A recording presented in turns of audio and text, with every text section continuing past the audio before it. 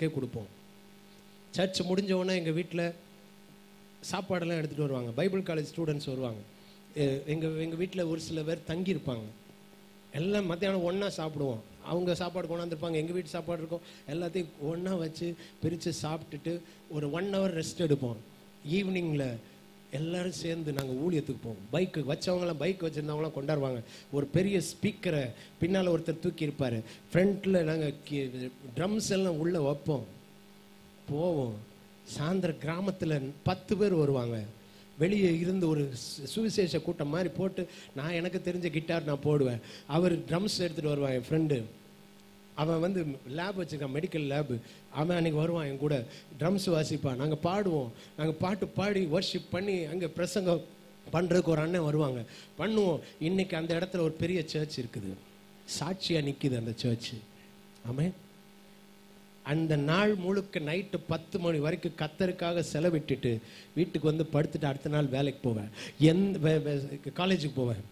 ஸ்கூலுக்கு போவேன். எந்த எக்ஸாமாக இருந்தாலும் சண்டே நான் புக்கே தொட்டது கிடையாது. எனக்கு நல்ல ஞாபகம் இருக்குது plus two exam next day வந்து கெமிஸ்ட்ரி எனக்கு வராத ஒன்று பிடிக்காத ஒரு சப்ஜெக்ட்னா கெமிஸ்ட்ரி தான். எங்கள் வாத்தியாரும் எடுக்கவே இல்லை. பத்து நாள் தான் எடுத்தார். ப்ளஸ் டூவில் வந்து அவர். ஏ வாடான்வார் ஃபுல் ஃபுல் போதையில் தான் வருவார். புக்கை மறைச்சிட்டு இப்படி உட்காந்துருப்பார் யாருந்தே ஏ வாசுதா அப்படின்வார் அவன் வனத்தையும் ஒன்று வாசிப்பான். அங்கே நூறு பேர் கிளாஸில் அவன் ஒன்று ஒவ்வொருத்தரும் ஒவ்வொன்றும் பண்ணிக்கிட்டு இருப்பான். பத்து நாள் தான் கிளாஸுக்கே வந்தார். நான் டியூஷனும் போகல ஆனால் கத்தர் பாஸ் பண்ண உதவி செஞ்சார். Next day chemistry next day முக்கியமான எக்ஸாம்ஸ் வந்திருக்கிறது. ஆனாலும் நான் செய்கிற ஊழியத்தை செய்து முடித்தேன். அப்போ நான் ஒன்றும் ஊழியக்காரன் கிடையாது. ஊழியக்காரன் குடும்பம் கிடையாது நான். ஆனால் கத்தருக்கு வைராக்கியமாய் செயல்பட்டோம். இன்னைக்கு நமக்குள்ளே அந்த இது இருக்கா? காலைல சர்ச்சுக்கு வரோம். அதுவே வந்து பல பேருக்கு வந்து பல பேர் மனசுக்குள்ளேயும் பதிஞ்சு இருக்கிறது. இந்த சர்ச் ஏன் மூன்றரை மணி நேரம் நடத்துகிறார் நாலு மணி நேரம் ஏன் நடத்துகிறார் கொஞ்சம் குறைச்சி நடத்தினாதான் என்ன? அப்படின்ற எண்ணம் பல பேருக்குள்ளே இருக்கிறது. பல பேருக்குள்ள அந்த வைராக்கியம் இன்னும் வரல. ஏன்னா மெத்தனமாய் போச்சு. கத்தர் கொஞ்சம் சர்ச்சுக்குள்ளே வரும்போது நீங்கள் கஷ்டப்பட்ட ஆட்களாக வந்தீங்க. இதுதானே எனக்கு தெரியும் ஒவ்வொருத்தருடைய நிலமை எனக்கு நல்லா தெரியும். நீங்க எங்கிட்ட வந்து கதை விட்டுக்கிட்டு நாங்க அப்படியாக்கும் நாங்க சில்வர் ஸ்பூனோட பிறந்தவங்களாக்கும் நாங்க இப்படி வந்தவங்களாக்கும் அப்படியாக்கும் இப்படியாக்க அப்படியாக்குன்னு கதையெல்லாம் விட முடியாது. சரித்தானா உங்க நிலைமை எல்லாம் எனக்கு தெரியும். கஷ்டப்பட்ட நிலைமையில வந்தீங்க கத்தர் தான் உயர்த்தி வச்சிருக்காரு. எத்தனை பேர் விசுவாசிக்கிறீங்க? கத்தர் உயர்த்தினார்னா நல்ல கையை உயர்த்தி சொல்லுங்க. ஆண்டவர் தான் என்ன உயர்த்தி. அப்போ அவருக்கு எவ்வளோ உண்மையாக இருக்கணும்? எவ்வளோ உண்மையாக இருக்கணும்? எவ்வளோ உண்மையாக இருக்கணும்? சொல்லுங்கள் இன்னைக்கு எத்தனை பேர்? மைக் ஆரம்பிச்ச பிறகு வீட்டு உள்ள நுழைஞ்ச பாஸ்டர் கை வைத்து காட்டுங்க. உண்மையா கை வைத்து. கை வைத்துங்க. நல்லா.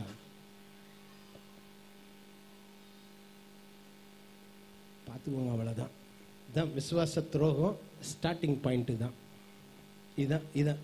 சாத்தான் கொஞ்சம் கொஞ்சமாக ஒரு ரெண்டு நிமிஷம்னா என்ன? அஞ்சு நிமிஷம்னா என்ன? ஒரு பத்து நிமிஷம்னா என்ன? இது என்ன? அப்படின்னு கொண்டு போய் தான் சர்க்கிளுக்கு நேராக கொண்டு போவோம் விசுவாச துரோகத்துக்கு ஜாக்கிரதையாக இருப்போம்.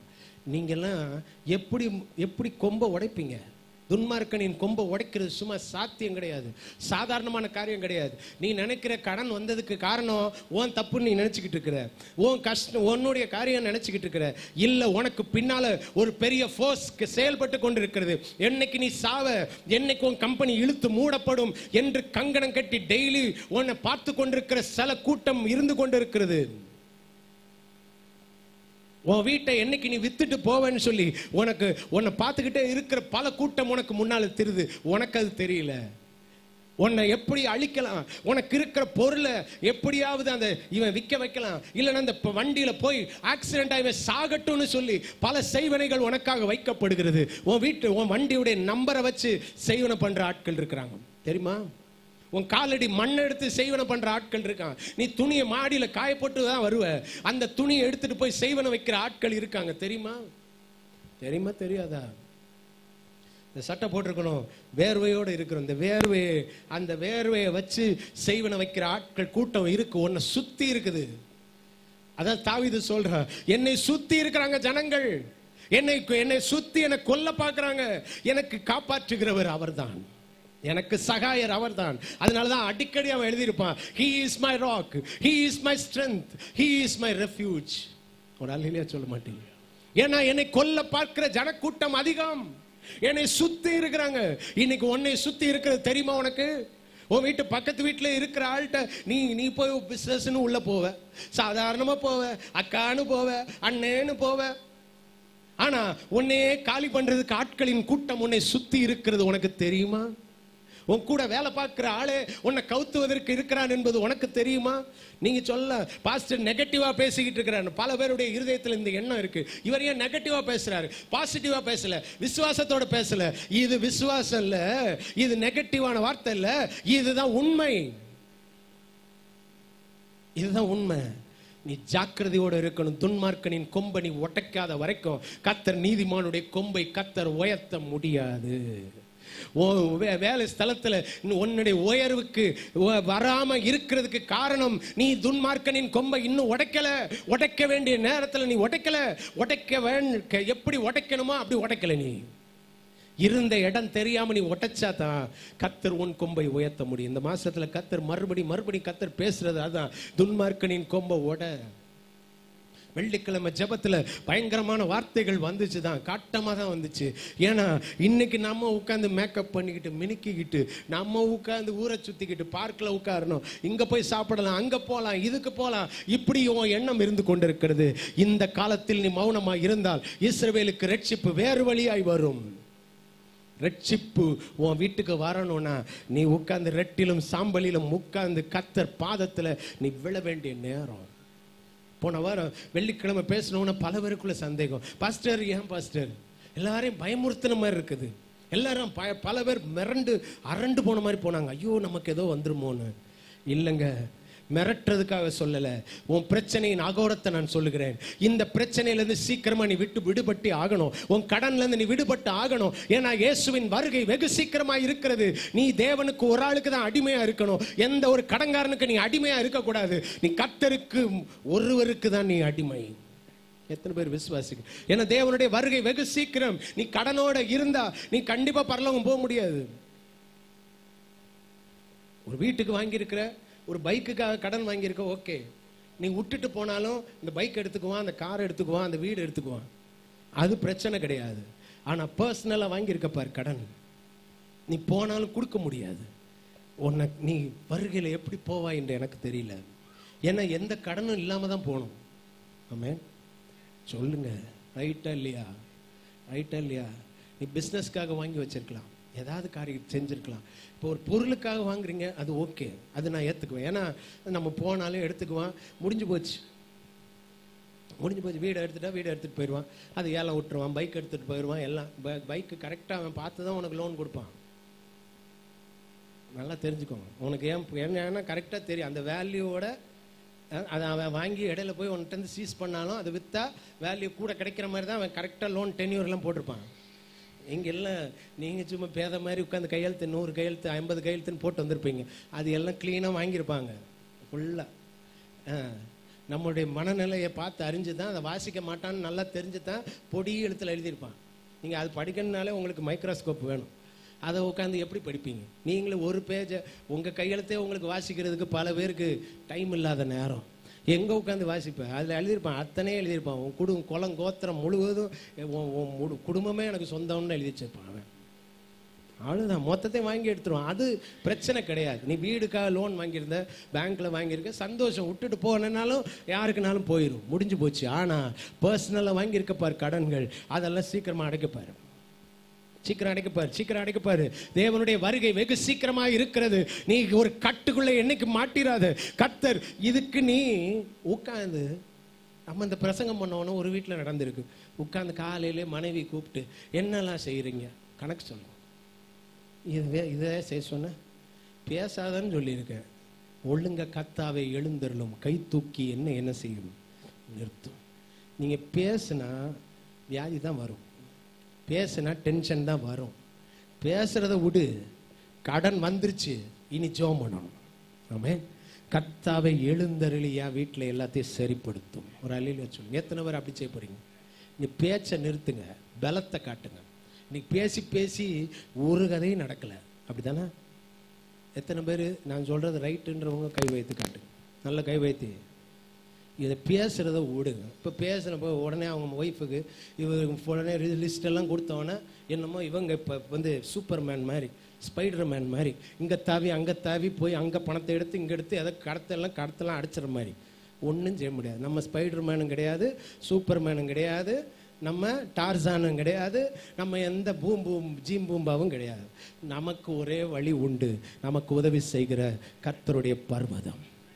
ஒரு அல்லையிலே சொல்லுங்கள் நீ இந்த கேட்குற வேலையெல்லாம் விடுங்க.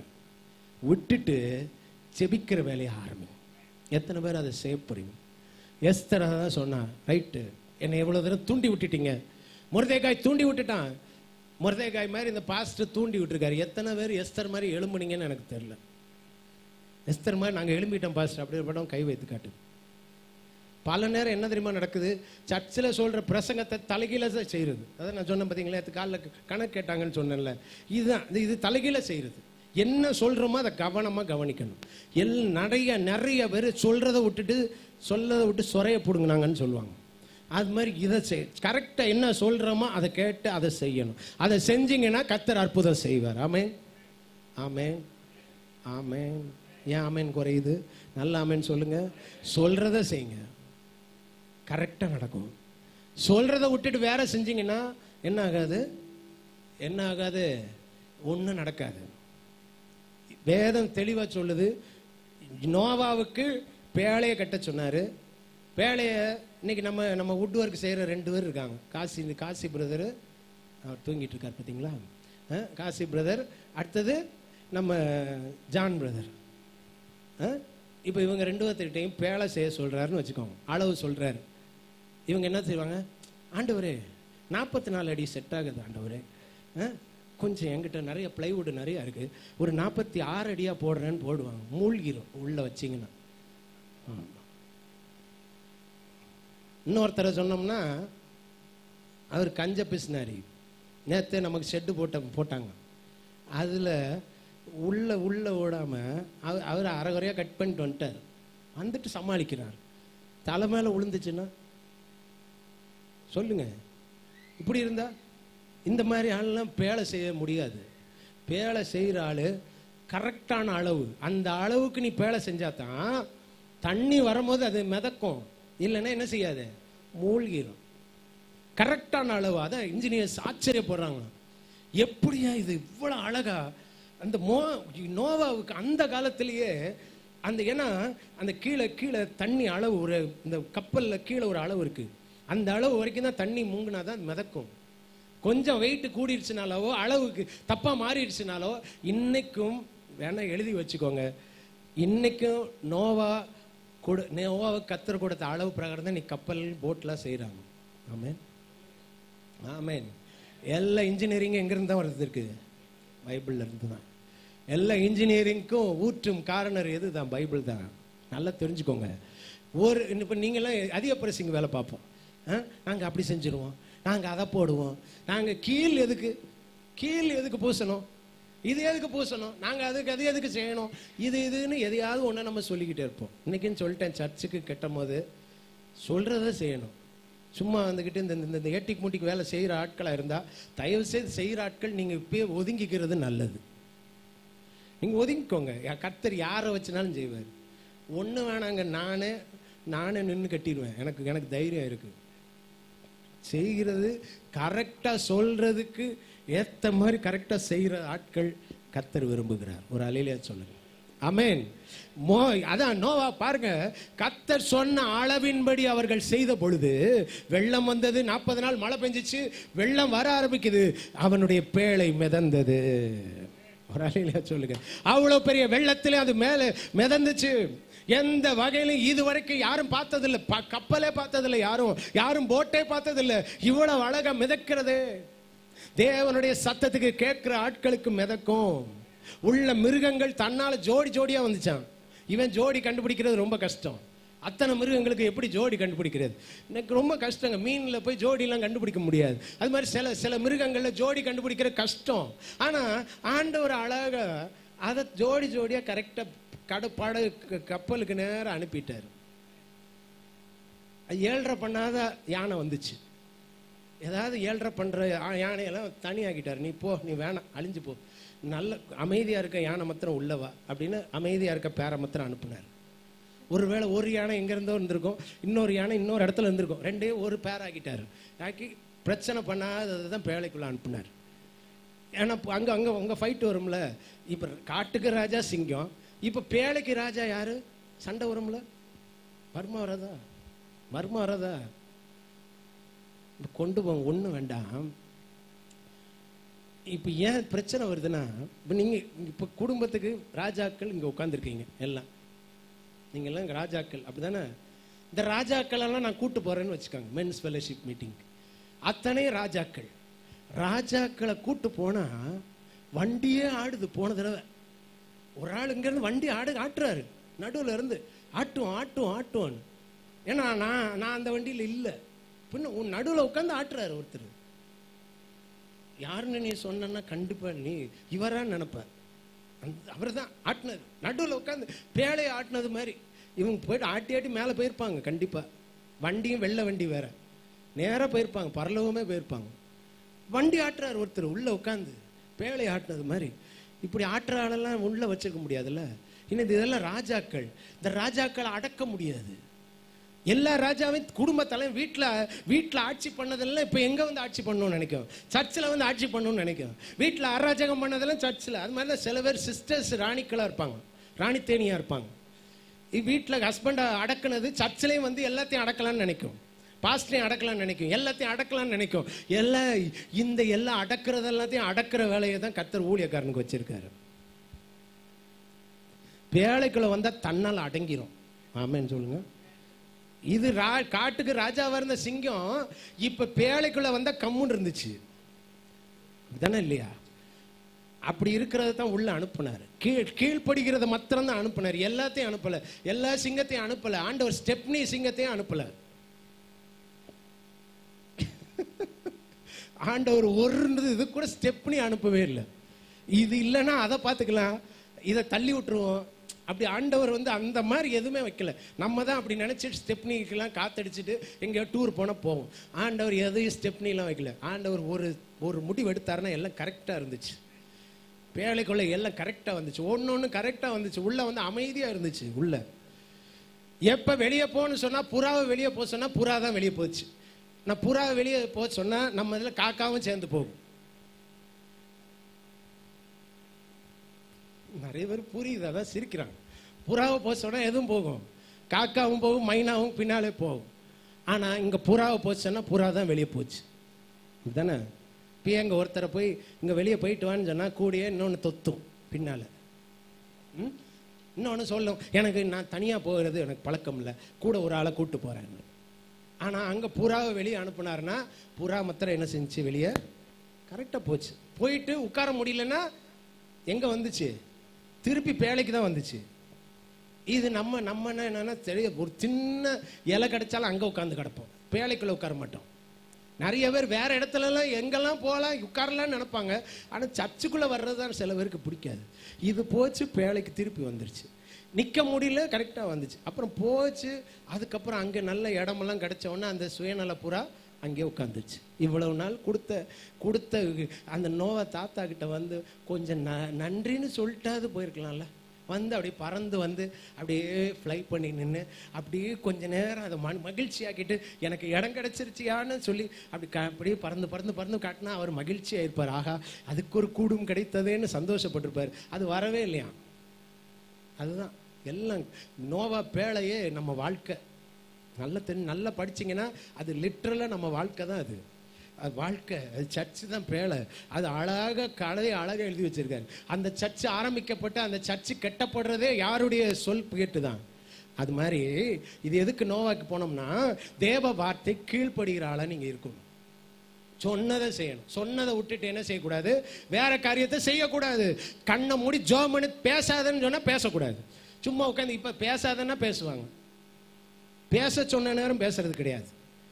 பேசாதன்னு சொன்னால் தான் பேசுவாங்க நிறைய பேர். அதான் நம்ம சர்ச்சில் இருந்த ஒரு முந்தி இருந்த ஒரு பிரதர் சொல்லுவார் பாஸ்டர் எப்பயுமே எதிர்மறையாக சொல்லுங்க பாஸ்டர் செய்ய மாட்டாங்கன்னு சொல்றார். நமக்கு அப்படியே கேரக்டர் ஆகி மாறி போச்சு. பேசாதன்னா பேசுவோம். பேசுனா பேச மாட்டோம். கம்முன்னு இருப்போம். இப்போ கேட்டால் பேசுங்க மைக்கை கொடுத்தா நீ யோசிக்கிறாங்க. சும்மா கிடந்தா பல கேள்வி கேட்குறாங்க இதுதான் நம்ம நம்ம நம்முடைய காரியமே அதுதான் தான் இருக்குது மாற்றம் நமக்கு தேவை. ஒரு அலையிலேயே சொல்லுங்க. தேவ வார்த்தைக்கு நீ கீழ்ப்படி. கத்தருடைய பாதத்தில் உட்கார்ந்து ஜோம் பண்ற ஆளா நீ மாறு. தேவ பாதத்தில் உட்கார்ந்து கண்ணீர் வடி சொல்லு. டோட்டலாக சரண்டர் பண்ணு. என்னுடைய பலத்தினால் ஒன்றும் இல்லை என்னுடைய ஞானத்தினால் ஒன்றும் இல்லை எல்லாமே உங்களால் தான் முடியும். எல்லாமே உங்களால தான் முடியும். இந்த இந்த ஜெப நான் ஒர்ஷிப்பில் சொன்னேன். தேவரீர் என்னை ஆசீர்வதித்தால் ஒளிய உண்மை நான் என்ன செய்ய மாட்டேன்?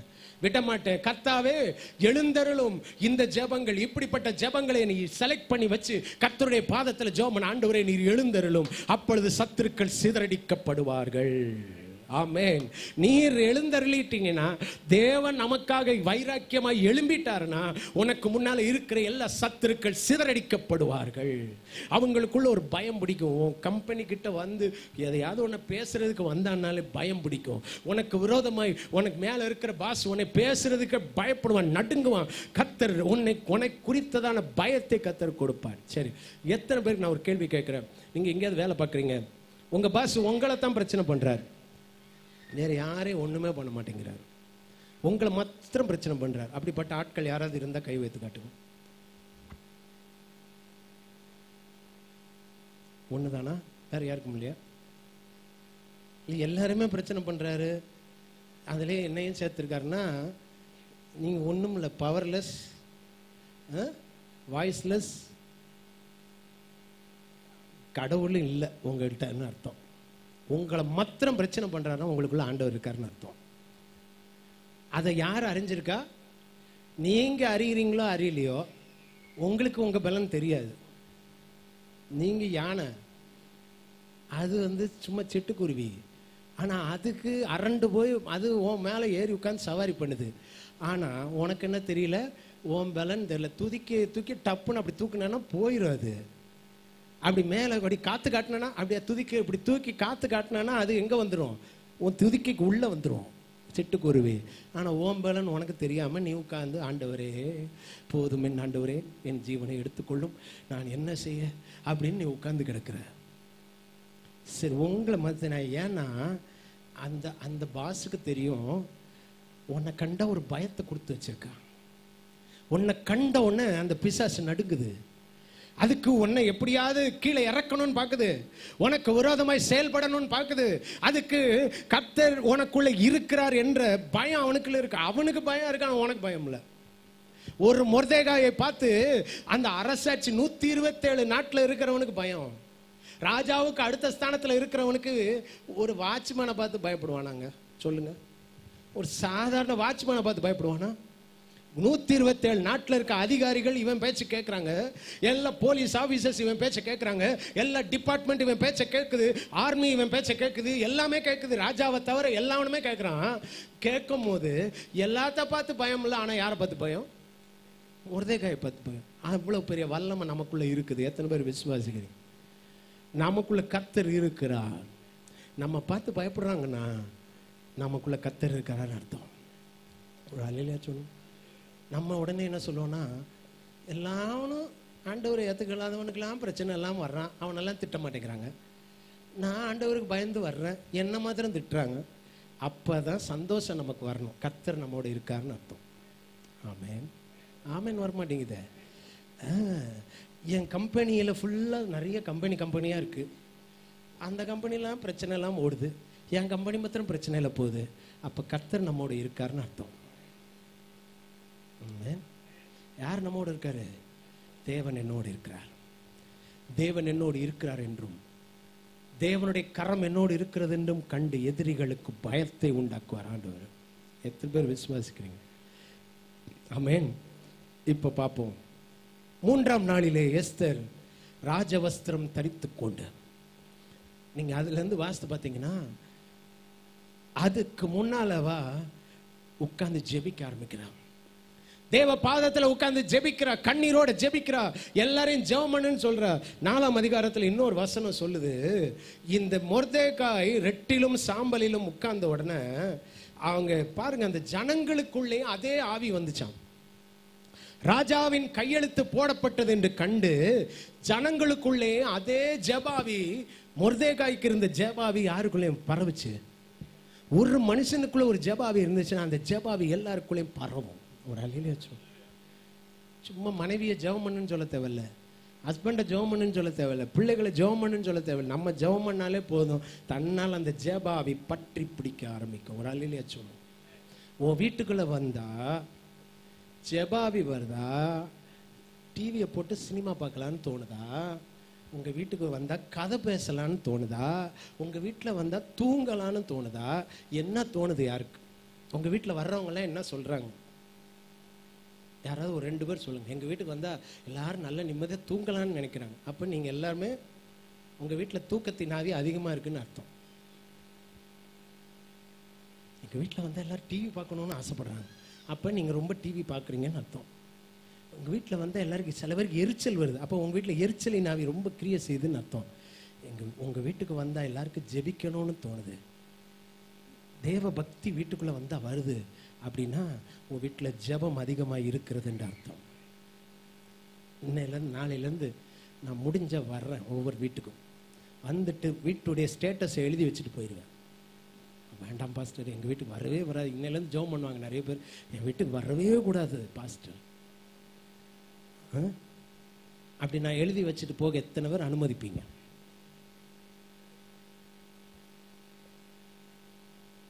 சும்மா எதுக்கு எடுத்தாலும் ஒரு கையை இப்படி உயர்த்திடுறது? ஆ?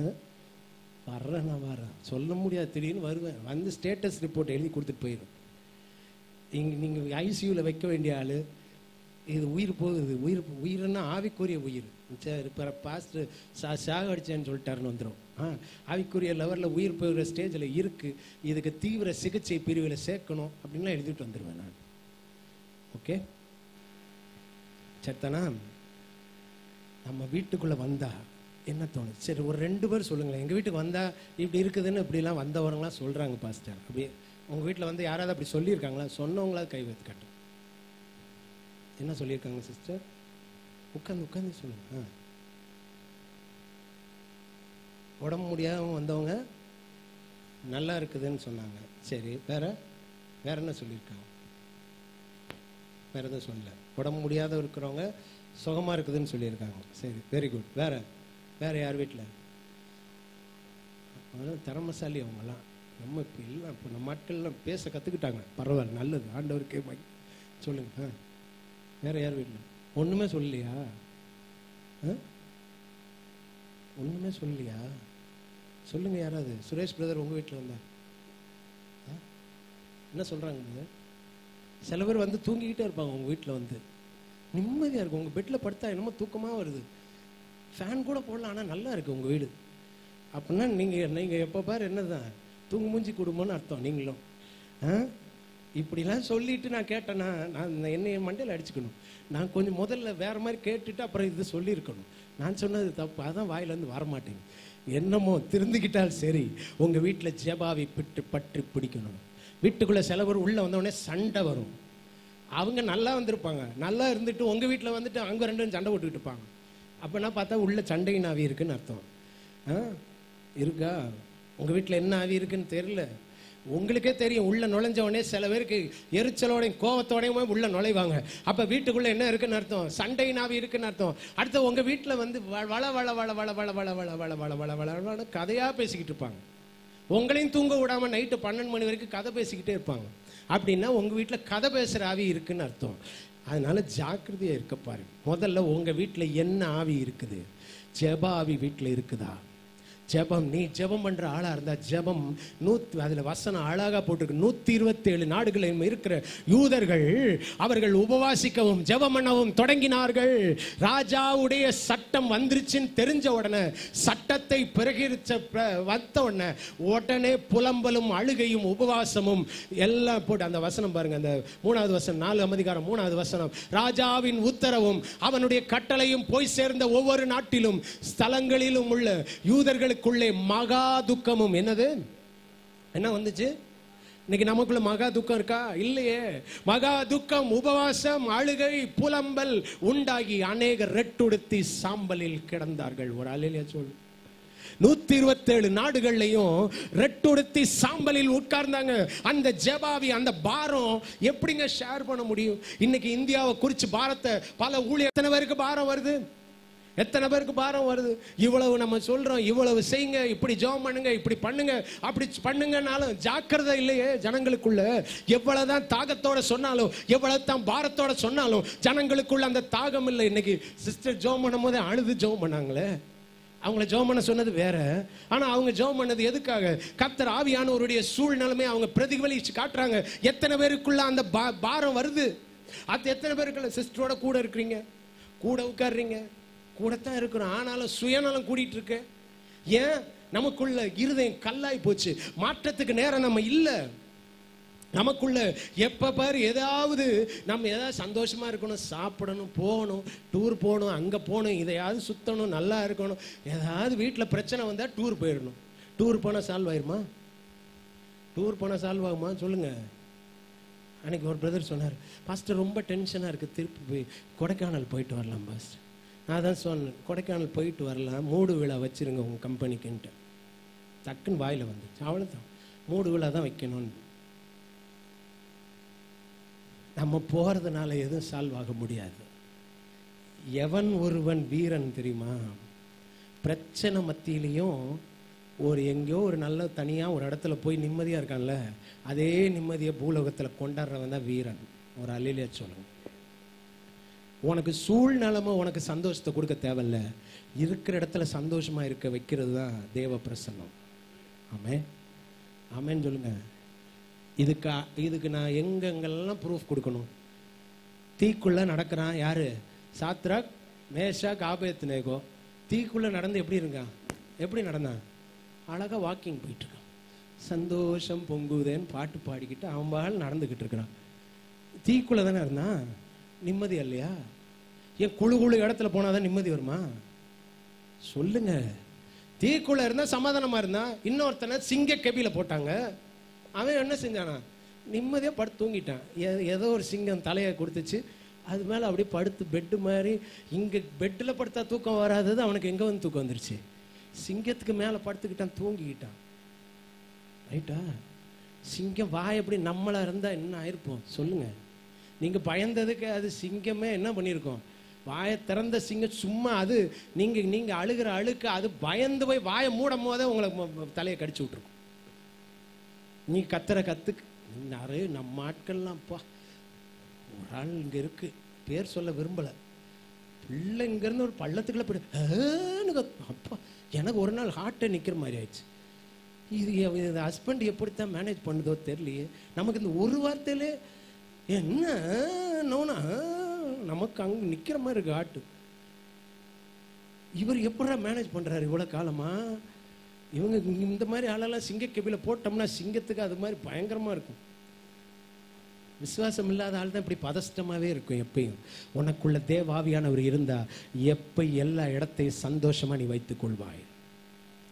எத்தனை பேர் விசுவாசிக்கிறீங்க? எல்லா இடமும் துக்கமும் புலம்பலும் ரெட்டுடுத்தி சாம்பலில் என்ன செய்தார்கள்? உட்கார்ந்தாங்க. உடனே வேற இடத்துக்கு போல. எல்லாரும் சில ஏதாவது ரிசார்ட்டுக்கு போல. எங்கேயாவது போய் ஜோம் பண்ண போல. அவர்கள் சாம்பல்ல உட்கார்ந்தாங்க. உட்கார்ந்து புலம்பினார்கள். இருக்கிற இடத்த சந்தோஷமாய் மாற்றுவதற்காக. இந்த இடத்துல நமக்கு துக்கம் வந்துருச்சு. இந்த இடத்திலே கத்தர் எங்களை உயர்த்துவார். அந்த விசுவாசம் அவர்களுக்குள்ள. ஆமேன். எந்த இடத்துல நாங்கள் வெட்கப்பட்டோமோ எந்த இடத்துல நாங்கள் தலை குனிந்தோமோ அதே இடத்துல கத்தர் எங்களை உயர்த்துவார் என்ற விசுவாசம் அவர்களுக்குள்ள வந்தது. எத்தனை பேருக்குள்ள அது அந்த விசுவாசம் உங்களுக்குள்ள இருக்கு. நடந்த கதை என்ன?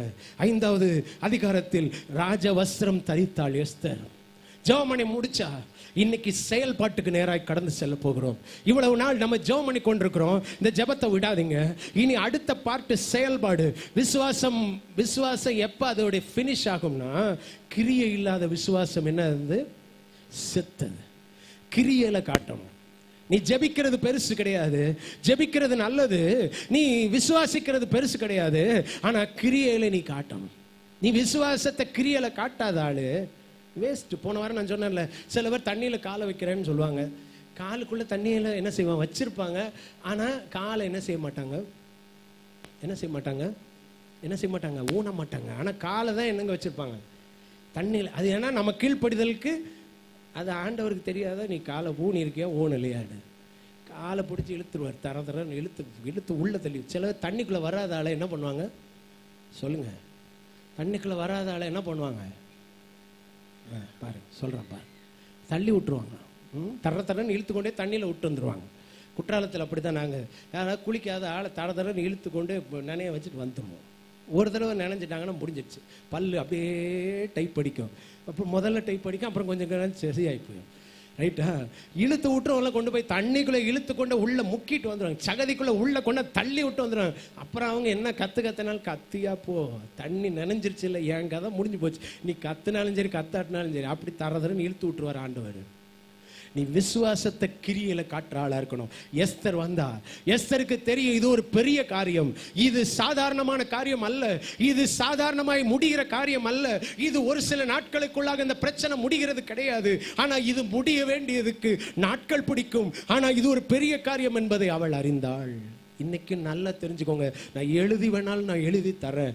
ஒரே ஒரு காரியம் உங்களை பார்த்து நான் சொல்கிறேன் ஒரு சின்ன வியாதி உன் வீட்டை நோக்கி வந்திருக்கலாம். ஒரு சின்ன கடன் பிரச்சனை உன் வீட்டை நோக்கி வந்திருக்கலாம். அது சின்ன காரியம்னு சொல்லி அஜாக்கிரதையாக தூக்கி எறியாத. ஒரு சின்ன வைரல் ஃபீவராக இருக்கலாம். அது ஒரு சின்ன சாதாரண காரியம் என்று நினைக்காத. கர்த்தருடைய பாதத்தில் அதிகமாக நீ ஜெபிக்கிறதுக்கு அது ஒரு எச்சரிப்பு மணியாக இருக்கட்டும். ஆமேன். ஆமேன்னு சொல்லுங்கள் ஆமேன்னு சொல்லுங்கள் ஆமைன்னு சொல்லுங்க. சின்ன காரியத்தையும் சின்ன காரியம் நினைச்சிட்டு போகாத. அது பெரிய காரியம். உனக்கு விரோதமாய் சாத்தா கொஞ்சம் காலை வச்சிருக்கான்னு அர்த்தம். சின்ன காய்ச்சலை கொண்டாந்துருக்கான் சின்ன வயிறு வலியை கொண்டாந்துருக்கான்னா அவன் கொஞ்சம் அப்படி லேசா என்ட்ரி உள்ள அவன் காலை வச்சு பார்க்கறான்னு அர்த்தம். அவனை அப்பவே அவனை காலை வெளியே எடுக்க வைக்காம விடக்கூடாது. எத்தனை பேர் விசுவாசிக்கிறீங்க? அவனை எப்படியா துரத்தாம விடக்கூடாது. அவனை அவன் அவன் அவன் செயல் இழக்கிற வரைக்கும் வெட்டணும். அதான் தாவீதுக்கு எனக்கு ரொம்ப பிடிச்சிருக்குங்க. தாவீது எப்பயும் சொல்லுவான்? நான் அவனை வெட்டுவேன். எப்படி வெட்டுவேன்? சும்மா வெட்ட மாட்டேன். அவனை கம்ப்ளீட்டாக பேரலைஸ் பண்ணுற வரைக்கும் வெட்டுவேன். ஒரு அலையிலியா அவன் எந்திரிக்க விடாதபடி வெட்டுவேன். அவன் செயலிழக்க பண்ணுவேன். அவனை எழும்ப விடாதபடி வெட்டி போடுவேன். அப்படி நீ வெட்டி போட்டனா உன் வீட்டுக்குள்ள ஆசீர்வாதம் வர்றதை நீ இன்னைக்கு பார்ப்ப. ஆமேன்.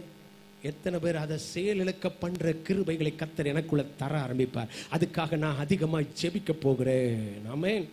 செயலிழக்க பண்ணுவேன். பிசாசின் கிரியைகளை செயலிழக்க பண்ணுவேன். ஒரு காரியத்திலையும் அஜாக்கிரதையாக நான் என்ன செய்ய மாட்டேன். வாழ மாட்டேன். ஒரு சின்ன பிரச்சனையை என்ன செய்ய மாட்டேன். அஜாக்கிரதையாக நான் எடுக்க மாட்டேன். தேவனுடைய பாதத்தில் எழும்பி ஜெபிக்கிற மாறுவேன். ஆமேன். அப்ப பாருங்க. வஸ்திரத்தை போட்டா உள்முற்றத்தில் போய் நின்றாள். ராஜா பார்க்குற மாதிரி போய் நிற்கிறா நல்ல நீட்டான ட்ரெஸ் போட்டிருக்கா. ராஜாவுக்கு எது பிடிச்சிருக்குமோ அந்த ட்ரெஸ்ஸை போட்டு நிற்கிறா ராஜாவின் மனசை கவர்ற மாதிரி நிற்கிறா நல்லா ஜெபிச்சுட்டு போயிருக்கிறா. ஆண்டவருடைய ஞானம் தேவ கிருபை தேவ தயவு அவன் மேலே இருக்குது. நீ ஜெபிச்சா உனக்குள்ள தேவ தயவு இருக்கும். ராஜா உன்னை திரும்பி பார்க்குற அளவுக்கு அற்புதங்கள் நடக்க ஆரம்பிக்கும். வானத்திலிருந்து கத்தருடைய சமூகம் பரலோகமே உன்னை திரும்பி பார்க்கும். எத்தனை பேர் விசுவாசிக்கிறீங்க? பரலோகம் திரும்பி பார்க்கும். உன்னுடைய ஜெப தூபம் மேல பரலோகத்தை எட்டும். நீ ஜெபிக்க ஜெபிக்க ஜெபிக்க உன் ஜெப தூபம் பரலோகத்தை எட்டிருச்சுன்னா பரலோகம் உன்னை திரும்பி பார்த்துருச்சுன்னா உனக்கு கர்த்தருடைய தயவு உன் மேல இறங்கி வந்துருச்சுன்னா உன் வாழ்க்கையில அற்புதங்கள் அதிசயங்கள் நடக்க ஆரம்பிக்கும். எத்தனை பேர் விசுவாசிக்கிறீங்க? இன்னைக்கு உன் ஜெபம் மேல எட்டலைங்க. உன் ஜெபம் மேல கத்தர் தொடல. கத்தருடைய சமூகத்தை உன் ஜெபம் தொட்டுச்சுன்னா கத்தர் உன்னை திரும்பி பார்ப்பா ஆமேன். அவ ராஜ வஸ்திரம் தரிச்சு அந்த ராஜாவுக்கு பிடிச்ச ட்ரெஸ்ஸை போட்டுட்டு நின்னான் இன்னைக்கு நீ எந்த வஸ்திரத்தை போட்டு நிற்கிற தேவ சமூகத்தில் தேவனுக்கு பிரியமான வஸ்திரத்தை நீ போட்டுக்கொண்டு நீ தேவ சமூகத்துக்கு நீ வந்திருக்கிறியா? நான் சொல்றது இந்த உலக பிரகாரமான வஸ்திரத்தை நான் சொல்ல. துதியின் ஆடைன்னு வேதம் சொல்லுகிறது. ஜெபம்ன்றது ஒரு ஆடைன்னு சொல்லி இருக்குது பரிசுத்தம் என்பது ஒரு ஆடைன்னு சொல்லி இருக்குது இந்த பரிசுத்தம் ஜெபம் துதின்ற ஆடையோடு கூட எப்பப்பார் புலம்புற வஸ்திரத்தையும் துக்க வஸ்திரத்தையும் போடாதபடி நீ இந்த ஜெபம் என்ற ஆடையோடு நீ போய் நின்னா பரலோகம் உன்னை திரும்பி பார்க்க ஆரம்பிக்கும். ஒரு ஆள் எளியா சொல்லுங்க. ஏன்னா வேதம் தெளிவாய் சொல்லுகிறது. துதிக்கிற இடத்துல தேவன் இறங்கி வருவார்னு சொல்லி இருக்குது துதிக்கிற ஒரு மனுஷனை கத்தர் திரும்பி பார்ப்ப சொல்லி இருக்கு துதிக்கிற ஜெபிக்கிற ஒரு மனுஷன் கண்கள் திறக்கப்படும். அவருடைய வஸ்திர தொங்கலால் தேவாலயம் நிரம்பி இருக்க கண்டான் என்று பார்க்கிறோம். உன் கண்ணு திறக்கப்படும். அவர் உன்னை பார்க்கிறதை நீ பார்ப்பாய். தேவ பிரசன்னம் உனக்காக இறங்கி வரும். ஆமென். ராஜா அவனை பார்த்துட்டான். ராஜா ராஜஸ்திரீயாகிய எஸ்தர் முற்றத்தில் நிற்கிறதை கண்டபோது அவளுக்கு அவன் கண்களில் என்ன கிடைத்தது? தயவு கிடைத்ததினால் ஒரு அலையில சொல்ல மாட்டீங்களா? தேவ தயவு கிடைச்சதுனால உடனே ஃபேவர் காட்ஸ் ஃபேவர் கிடைச்சது. இந்த காலைவேளையில் தேவ சமூகத்தில் வந்திருக்கிற உங்களை பார்த்து நான் சொல்லுகிறேன். உனக்கு காட்ஸ் ஃபேவர் கிடைச்சாதான் அற்புதமே நடக்க முடியும். காட்ஸ் ஃபேவர் இல்லாமல் ஒன்றும் செய்ய முடியாது. நீ சும்மா மனுஷன் ஃபேவரை தேடி தேடி போகாத. இவன் மூலமாக போனால் சரியாயிருமா? இந்த பேங்க்கில் போனால் சரியாயிருமா? இந்த மனுஷனை நம்பினா சரியாயிருமா? அவரை நம்பினா சரியாயிருமா? அவரை நம்பினா சரியாயிருமா நீ உலகத்தை தேடி ஓடுறதை நிறுத்திட்டு காட்ஸ் ஃபேவருக்காக காலையிலே காத்திரு. அதிகாலையில் அவரை தேடுகிறவர்கள் கண்டடைவார்கள்னு வேதம் சொல்லுது. அதிகால் ஃபேவர்ன கிரேஸ் காலைதோறும் அவருடைய கிருபைகள் என்னதான் இருக்கிறது? நீ பதினோரு மணிக்கு போய் ஜெபம் பண்ணுறதை கத்தர் விரும்பல. நீ பன்னெண்டு மணிக்கு ஜோம் பண்றது எல்லாம் சமைச்சு முடிச்சுட்டு போய் எல்லாத்தையும் முடிச்சுட்டு கொண்டு போய் நீ உடம்பும் சரியா இருக்காது உடம்பும் வீக்கா இருக்கும். அந்த நேரத்தில் போய் ஜோம் பண்ணுற ஜெபத்தை கேட்க கத்தர் விரும்பல. அதிகாலையில் தேடினால் காட்ஸ் ஃபேவர் உன் வீட்டை நோக்கி வரும். என்ன நர்மதா? என்ன வரும்? என்ன வரும்? என்ன வரும்? காட்ஸ் ஃபேவர் வரும். காட்ஸ் ஃபேவர் வீட்டுக்குள்ள வந்துருச்சுன்னா நடக்கிற காரியத்தை இன்னைக்கு நான் சொல்கிறேன் இன்னைக்கு ஆவியானவர் தெள்ளந்தில் நான் இரவு நேரத்தில் அது இரவுல அதிகாலை வேலையில் இந்த வசனங்கள் ஒவ்வொன்றையாக வாசித்துட்டு இருந்தேன். உற்சாகமாயிருச்சு. என்னென்னலாம் நடக்கும்? அதிசயங்களை கத்த செய்வார். நடக்க முடியாத காரியங்களை நடக்க வைக்க என் தேவனால் முடியும். துன்மார்க்கனின் கொம்பை நீ காலையிலே உடைச்சிட்டனா? உனக்கு அன்னைக்கு ஃபுல்லாக வெற்றி தான் ஆமே ஆமே நேற்று ஒரு பிரதர் சொன்னார் காலையிலே நான் இருந்த இருப்புக்கு ஒரே டென்ஷன் டென்ஷன் டென்ஷன் டென்ஷன் அதில் ஒன்றும் செய்ய முடியாது. நான் யாரையும் ஹாஸ்பிட்டல் கூட்டு போக முடியாது. யாரும் ஒன்றும் செய்ய முடியாது. எந்த வேலையும் நான் செய்ய முடியாது. என்கிட்ட யார் என்ன கேட்டாலும் எனக்கு செய்ய முடியாது. இருபத்தஞ்சு முப்பது கால் அவருக்கு அடிச்சிருப்பேன். ஃபோனு எடுக்கல. நட் ரோட்டில் நின்று இருபத்தஞ்சு முப்பது நாற்பது அடித்தா அடிச்சு நாற்பது கால் கண்டிப்பாக வந்திருக்கும். அடித்தா எடுக்கவே இல்லை. என்னன்னு கேட்டால் டென்ஷன் காலையில் கொம்ப உடைச்சா இந்த டென்ஷனே இருக்காது. எத்தனை பேர் விசுவாசி? அதிகாலையில் காட்ஸ் ஃபேவரை கிடச்சி கொம்புகள் உடைக்கப்பட்டுச்சுன்னா அன்னைக்கு முழுசும் உனக்கு வெற்றிக்கு வெற்றி மேலே வெற்றி தான். எத்தனை பேர் விசுவாசிக்கிறீங்க? இந்த ரகசியத்தை தெரிஞ்ச ஆள் ஒரு நாள் தேவனை விட்டு விலகவே மாட்டாங்க. அதிகாலையில் தேடுகிறவர்கள் என்ன என்ன செய்வார்கள்? காலைதோறும் அவருடைய கிருபைகள் எப்படி இருக்குது? எப்படி இருக்குது? இன்னொன்று இன்னொன்று நான் சொல்லிட்டேன். ஜெபம் என்பது தேவனோட பேசுறது. தேவன் உன்னோட பேசுறது. ஒரு conversation between you and God அப்படிதானே?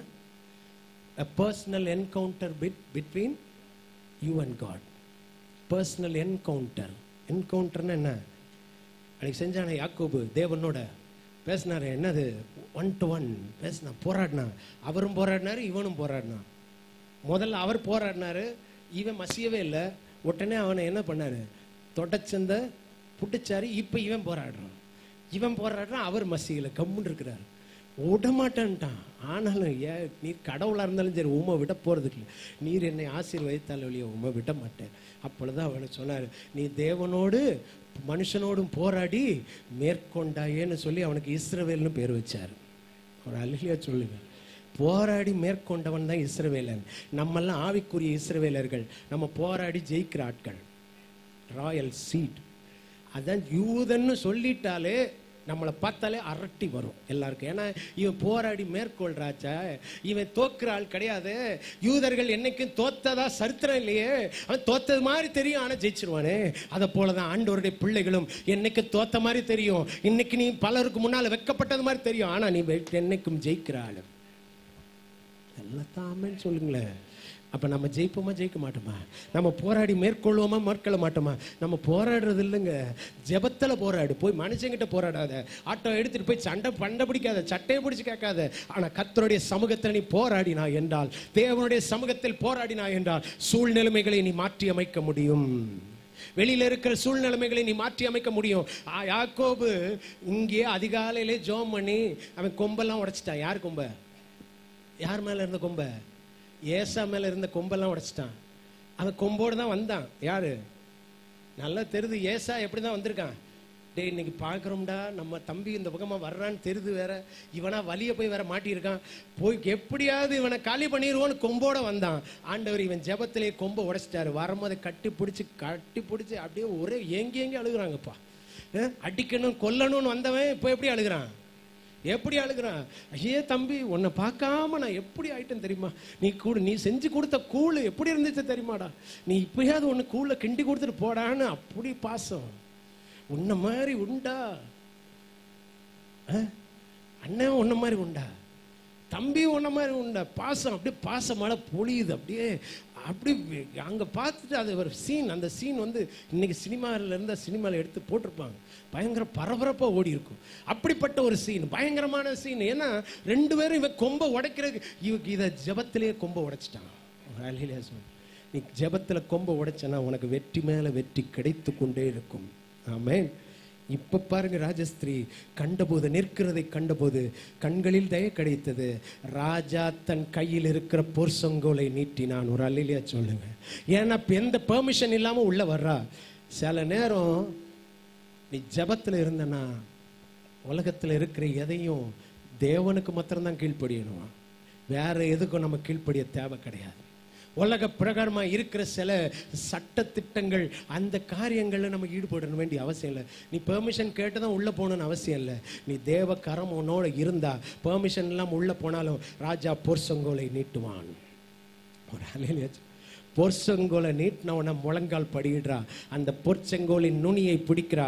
பிடிச்சிட்டு ராஜா எஸ்தர் கிட்ட வந்து செங்கோலின் நுனியை தொட்டாள் ராஜா அவளை நோக்கி எஸ்தர் ராஜாத்தியே ஏ, உனக்கு என்ன வேண்டும்?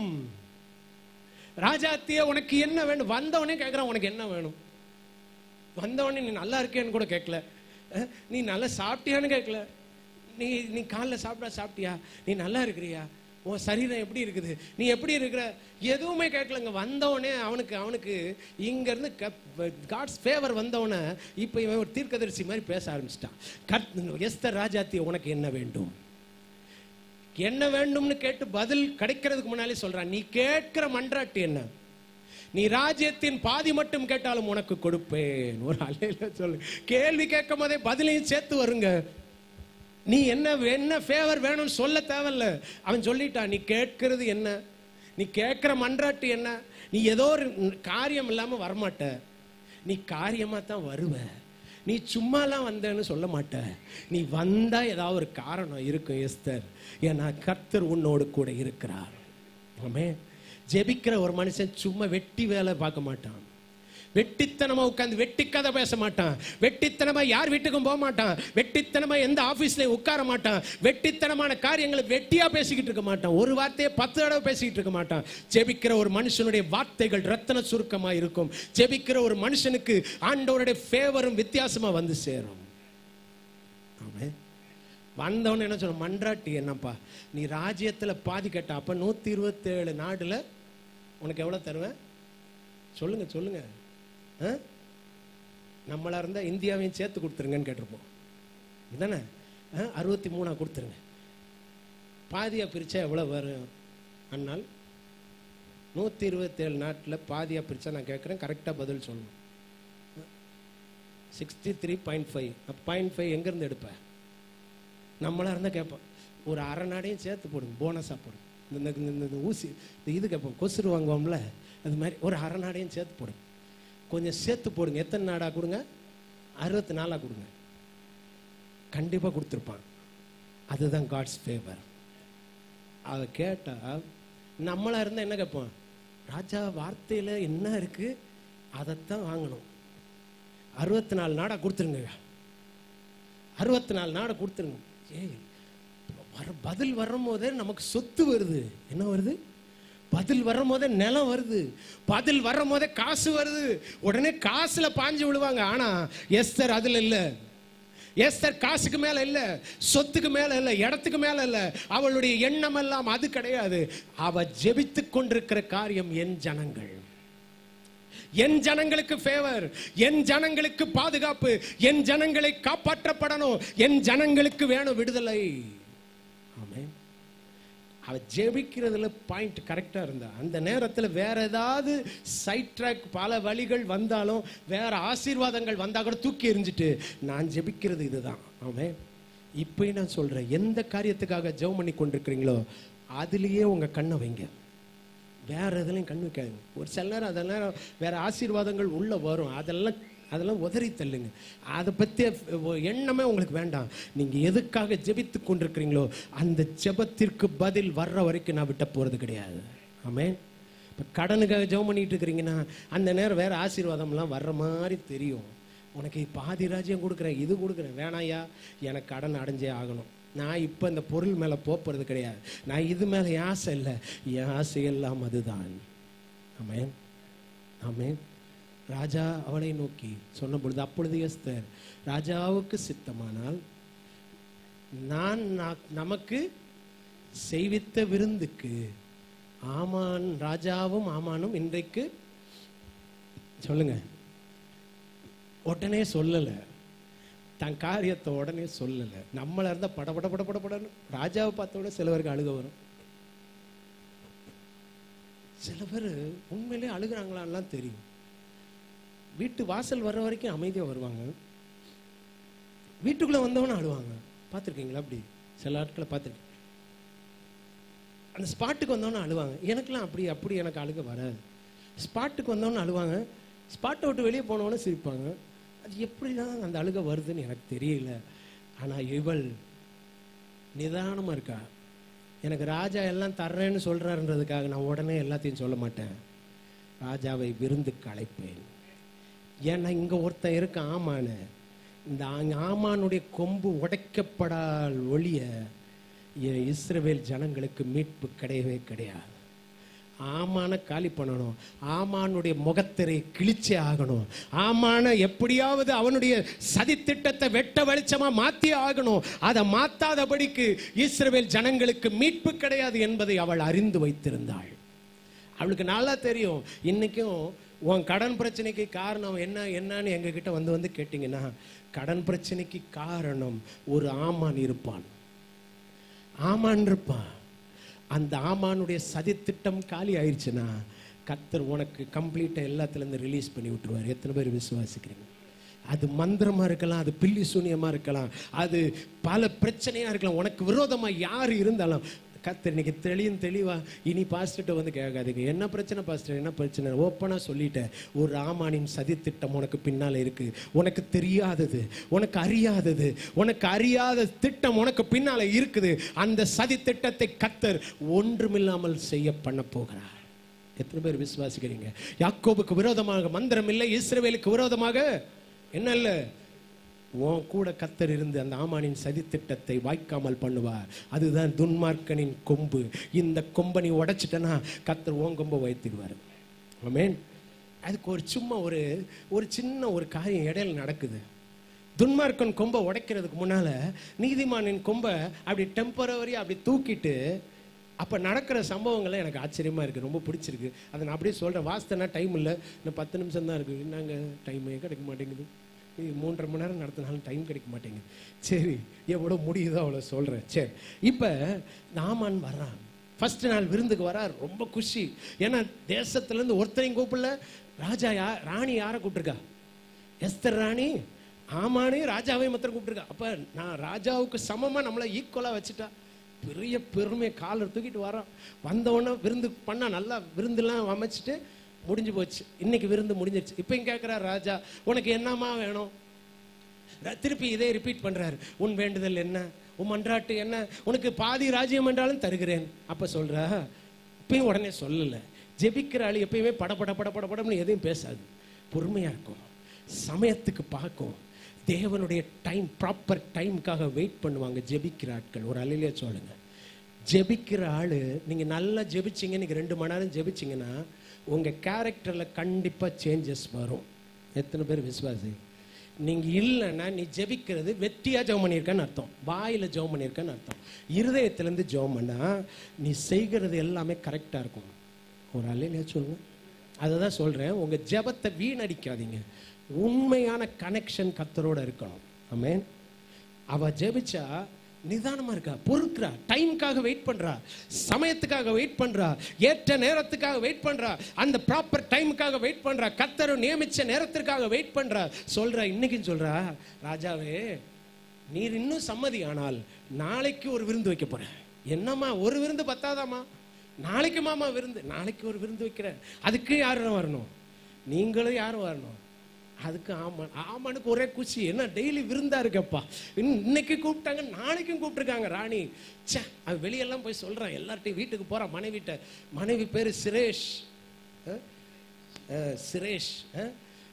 அவங்க அந்த அம்மா கிட்ட போய் சொல்றா ஏ ராஜா என்ன மாத்திரம் கூப்பிட்டுருக்காரு வேற யாரையும் கூப்பிடல. என்ன மாத்திரம் கூப்பிட்டுருக்கிறாரு? என்ன உயர்த்தி இருக்கிறாங்க?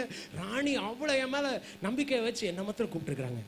அப் அப்போ ஆனால் இவன் வர்ற வழியில ஒரு சம்பவம் நடக்கிறது. இந்த சம்பவம்லாம் கத்தரா நியமிச்சிருக்காரு. இவன் அங்கே க- ப- இதுக்கு போய் விருந்துக்கு போயிட்டு வரும்போது மொர்தேக்காய் எப்படி உட்காந்துருக்கான் தலை வணங்காம உட்காந்துருக்கான் வணங்கலை. காலில் உழுகலை. உடனே கடுப்பு கோவம் ஒரு பக்கம் சந்தோஷம் ஒரு பக்கம் கோவம் இந்த கோவத்தோட வீட்டுக்கு போய் ஒய்ஃப்ட்ட போய் பேசுகிறான் நீங்களே என்ன என்ன ஒய்ஃப்ட்ட பேசுகிறீங்கன்னு தெரில ஒய்ஃப்ட்ட உடனே ஷேர் பண்ணுறான் ஒய்ஃப் உடனே சூப்பர் அட்வைஸ் கொடுக்குறாங்க அந்த அட்வைஸே அவனுக்கு காலி ஆயிடுச்சு இப்படி அட்வைஸ்லாம் கொடுக்காதீங்க. நல்ல மனைவிமார்களே ஆ? ஊருக்கு போனால் அவங்க வீட்டில் காலை வச்ச நீ இந்த வீட்டில் காலை வைக்க முடியாது. அப்போ நீ என்ன செஞ்சு வைக்கிற? உன் கணவனுக்கு தூக்கு மேடை போடுற. ஆ? நீ அந்த அவரோட பேசுன அவளோட பேசுன நான் உங்ககிட்ட பேச மாட்டேன். அதெல்லாமா இந்த மாதிரி அட்வைஸ்லாம் கொடுத்தீங்கன்னா நீங்கள் இந்த சுரேஷ் மாதிரி தான் சுரேஷ் இல்லை சுரேஷ். நல்லா தெரிஞ்சுக்கோங்க. எஸ் ஐ அவர் ஞாபகம் அவன் பேர் ஞாபகம் வச்சிங்கன்னா இவன் இந்த அம்மா பேர் ஞாபகம் வச்சுக்கலாம்.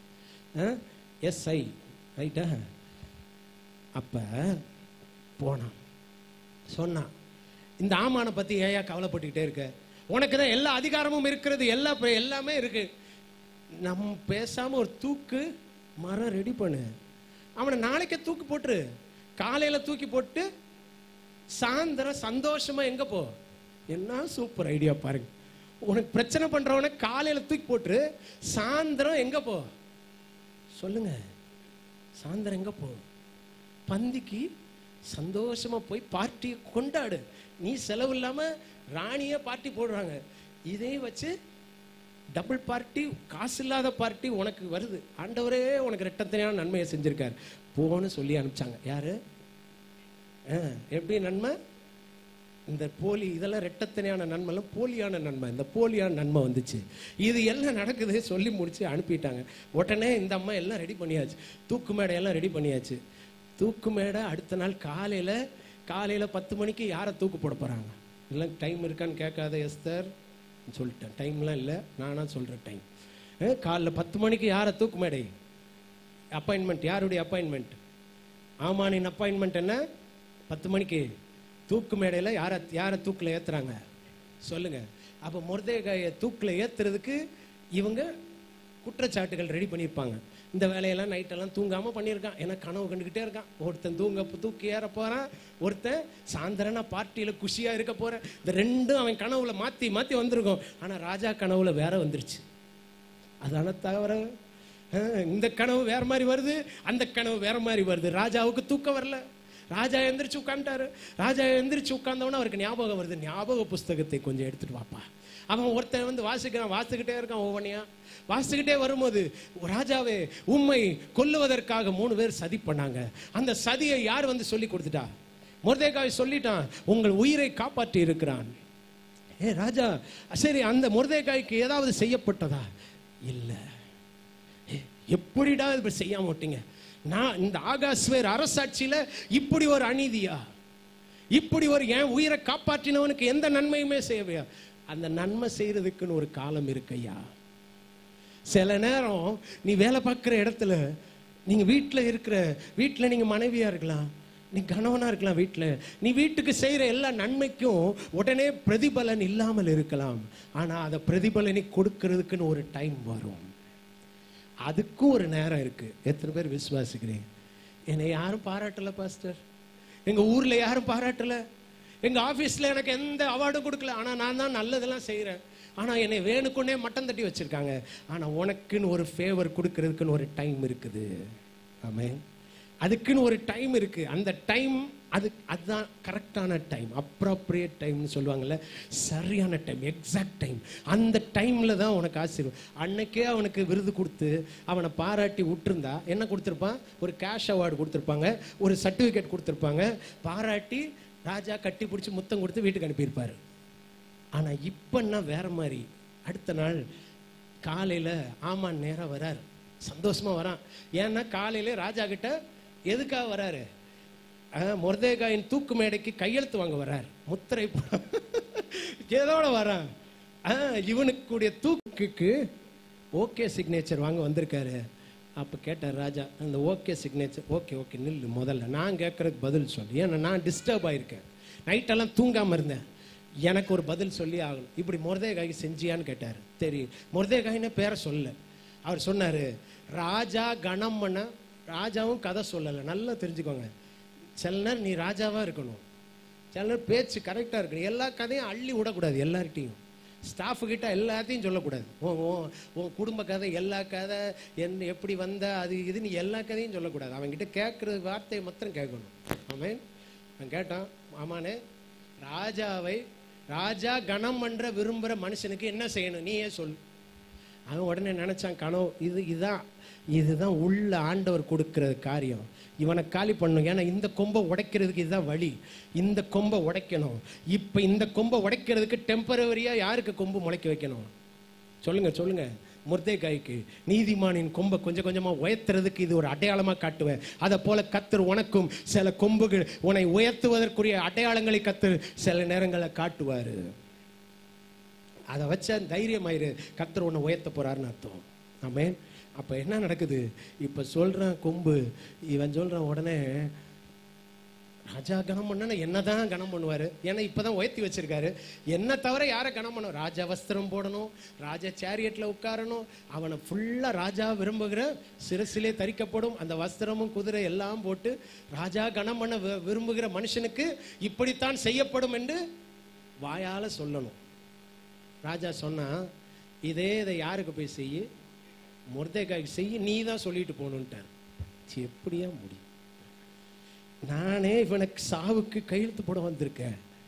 இது கதை மாறுது காரியம் மாறுதலாய் முடிக்கிறது வேதத்தில் பல வார்த்தைகள் பஞ்ச் பண்ணுற வார்த்தைகள். வேதம் சொல்லுது காரியம் மாறுதலாய் முடிந்தது அடுத்த அதிகாரத்தில் வாசித்து பார்த்தீங்கன்னா காரியம் மாறுதலாய் முடிந்தது எத்தனை பேர் சொல்ல போகிறீங்க என் வாழ்க்கையில் காரியம் மாறுதலாய் முடிய போகுது சாத்தா உன்னை நினச்சான் ஆனால் காரியம் மாறுதலாய் முடிந்தது பரலோகம் அதைத்தான் சொல்லுது காரியம் மாறுதலாய் காரியம் மாறுதலாய் காரியம் மாறுதலாய் மாறுதலாய். ஹலலூயா அப்போ பாருங்க கையெழுத்து அவன் சொன்ன மோர்தே காய்க்கு செய். இவன் மூஞ்சி செத்து போச்சு. போய் கடுப்பில் இருக்கான். செஞ்சான். கத்தி கத்தி சொன்னான் மோர்தே ராஜா மோர்தேகாய் வாழ்க மோர்தேகாய் வாழ்க. வாயில சொல்ல முடியுமா? தொண்டை வரைக்கும் அடைக்குது. ஆனாலும் சொல்லித்தான் ஆகணும். மோர்தேகாய் இவன் என் காலில் வணங்கலன்னு நினைச்சேன். இப்போ இவன் காலில் என்னை வணங்க விட்டுட்டாரு. கூடயே நடக்க விட்டுட்டாரு. என்னடா இதுதான் கத்தர் நமக்காக செய்கிற அற்புதம். அற்புதம் முதல் அற்புதம். யார் நம்மை விழ வச்சாங்களோ யார் நமக்கு விரோதமாய் நம்மை அழிக்க திட்டம் போட்டார்கள் எனக்கு காலிலே நான் சொன்னேனே உன் கம்பெனி என்னைக்கு இழுத்து மூடப்படும் என்று யார் நினைச்சானோ அவனை அவன் முன்னால உன்னை உயர்த்துறது தான் அவருடைய திட்டம். எத்தனை பேர் விசுவாசிக்கிறீங்க? யார் இழுத்து மூடணும்னு நினைச்சானோ அவன் இழுத்து மூடப்படுவான். எத்தனை பேர் விசுவாசிக்கிறீங்க? உன்னை யார் கெடுக்கணும்னு நினைச்சாங்களோ அவங்க கெடுக்கப்படுவார்கள். கத்தர் உன்னை உயர்த்துகிறதை நீ பார்ப்பாய். துன்மார்க்கனின் கொம்பு உடைக்கப்படும்.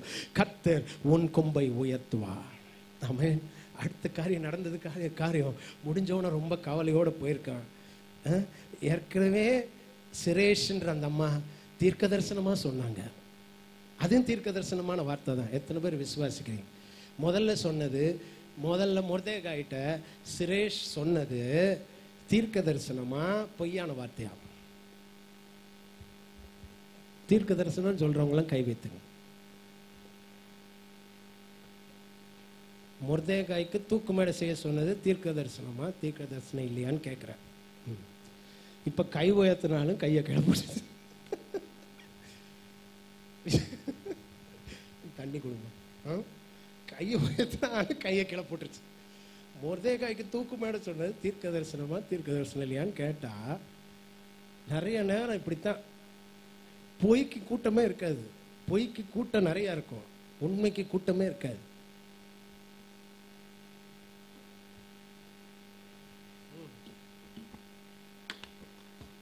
ப்ராஃபஸி தான். ப்ராஃபஸி தான். கத்தர் தான் அவன்கிட்ட சொல்லி தூக்கு மேடையவே ரெடி பண்ணார். பா- ஏன்னா கொஞ்ச நேரத்தில் இன்னொரு ஆளை கொண்டாடணும். தூக்கு மேடை ரெடி பண்ணுறதுக்கு ஒரு ரெண்டு மணி நேரம் டைம் கிடச்சிருக்கும்.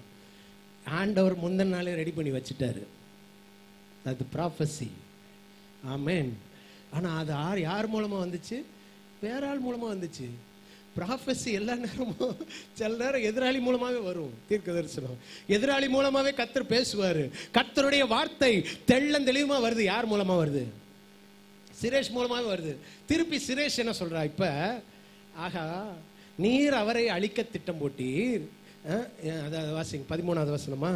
பதிமூணாவது வசனம் ஆமான் தனக்கு நேரிட்ட எல்லாவற்றையும் தன் மனைவியாகிய சிரேஷுக்கும் தன் சிநேகிதர் எல்லாருக்கும் அறிவித்த போது திருப்பி இந்த அம்மா சொல்றாங்க அவனுடைய ஆலோசனைக்காரரும் அவன் மனைவியாகிய சிரேஷும் அவனை பார்த்து முருதேகாய்க்கு முன்பாக நீர் தாழ்ந்து போக அடுத்த ப்ராஃபஸி சொல்றாங்க ரெண்டாம் தாழ்ந்து போக தொடங்கினீர்.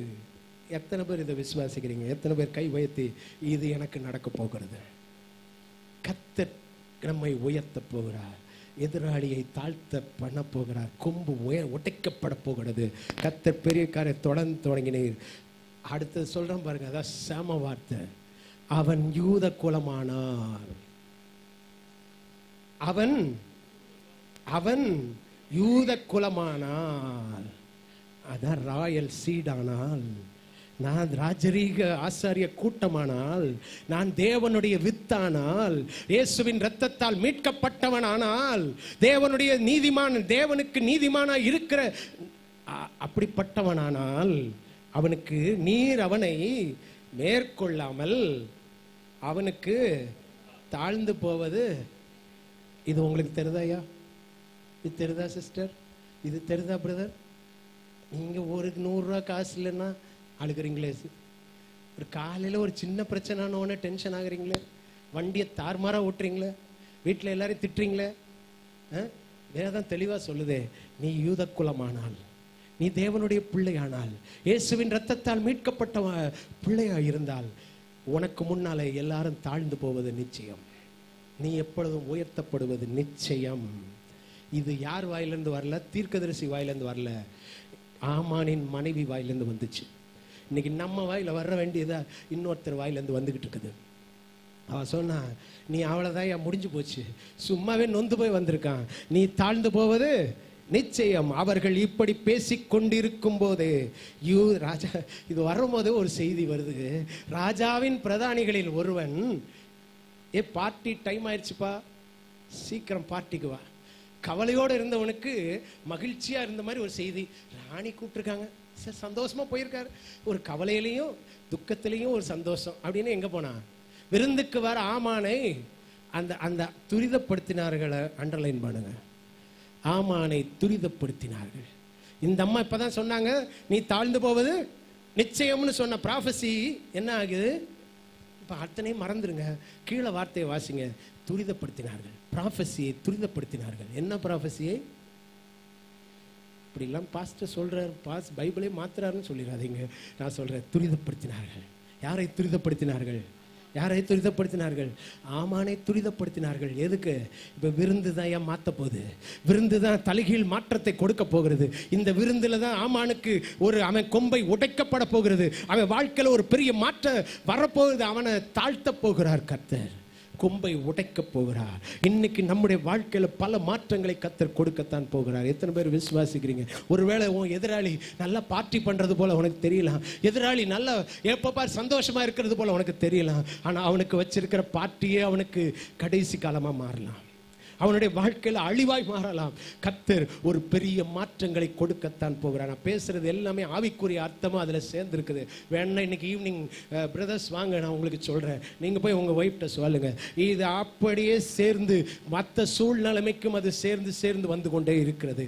கத்தர் இன்னைக்கு இருக்கிற ஆட்கள் பெரிய பார்ட்டி பண்ணி கொண்டிருக்கிறது போல தெரியலாம். இந்திய தேசம் முழுவதிலும் எல்லாம் பெரிய பார்ட்டியிலையும் கும்மால் கும்பாலத்திலையும் அவங்க இருக்கிறது போல தெரியலாம். ஆனால் அந்த பார்ட்டியே அவங்களுக்கு கடைசி காலமாக மாறும். ஆமென். புரிஞ்சவங்க ஆமென் சொல்லுங்க. புரிஞ்சிச்சு? புரியலையா? என்ன புரிஞ்சிச்சுன்னு கேட்டாதான் தெரியும்.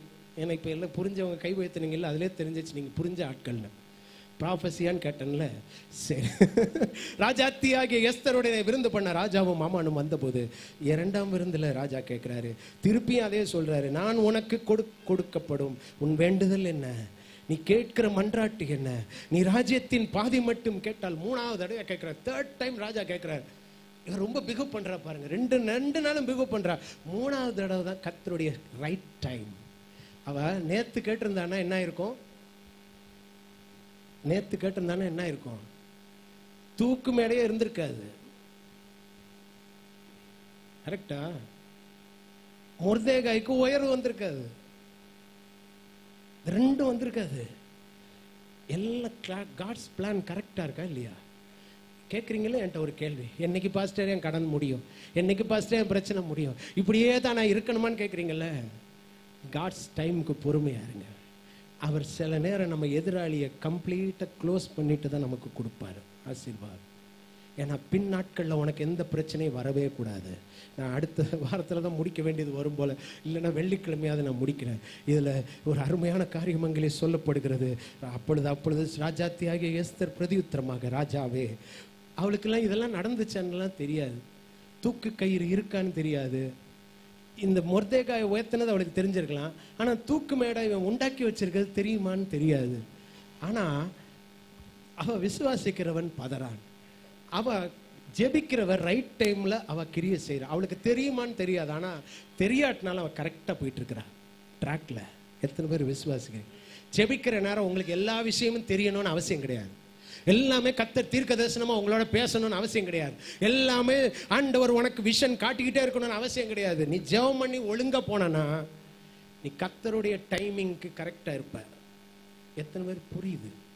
காட்ஸ் டைமிங்க்கு நேரம் கரெக்டாக போவீங்க. எத்தனை பேர் புரியுது? புரிஞ்சவங்க ஆமேன்னு சொல்லுங்கள் புரியாதவங்க ஒரு ஆமேன்னு சொல்லுங்கள் ஷோ கடவுளே.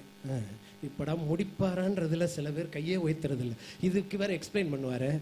காட்ஸ் டைமிங்க்கு நம்ம போயிட்டே இருப்போம். எத்தனை பேருக்கு இது புரியுது? நமக்கு ஆண்டவர் எல்லா நேரம் ப்ராஃபஸி கொடுக்கணும்னு அவசியம் இல்லை. எல்லா நேரம் உனக்கு விஷன் காட்டிக்கிட்டே இருக்கணும்னு அவசியம் கிடையாது. எஸ்தருக்கு தெரியாது. தூக்கு கயிறு வச்சிருக்கிறது தெரியாது. இவன் ஆமான் என்ன வேலை பண்ணியிருக்கான்றது தெரியாது. ஆமான் செஞ்சது என்னன்னு தெரியும். யூதர்களை அழிக்க சட்டம் போட்டிருக்கான்னு தெரியும். அவ்வளோதான் மற்றபடி வேற எதுவும் தெரியாது. அவள் பாட்டில் ரெடியாக இருந்து அவள் என்ன அழகாக சொல்கிற பாருங்க. ராஜாத்தியாகிய எஸ்தர் பிரதியுத்திரமாக ராஜாவே உம்முடைய கண்களில் எனக்கு கிருபை கிடைத்து ராஜாவுக்கு சித்தமானால் என் வேண்டுதலுக்கு என் ஜீவனும் என்னது என்னது? முதல் என்ன வார்த்தை அழகா போடுற பாருங்க. வேண்டுதலுக்கு என் ஜீவனும் என் மன்றாட்டுக்கு என் ஜனங்களும். ஒரு அல்லையா சொல்லுங்க.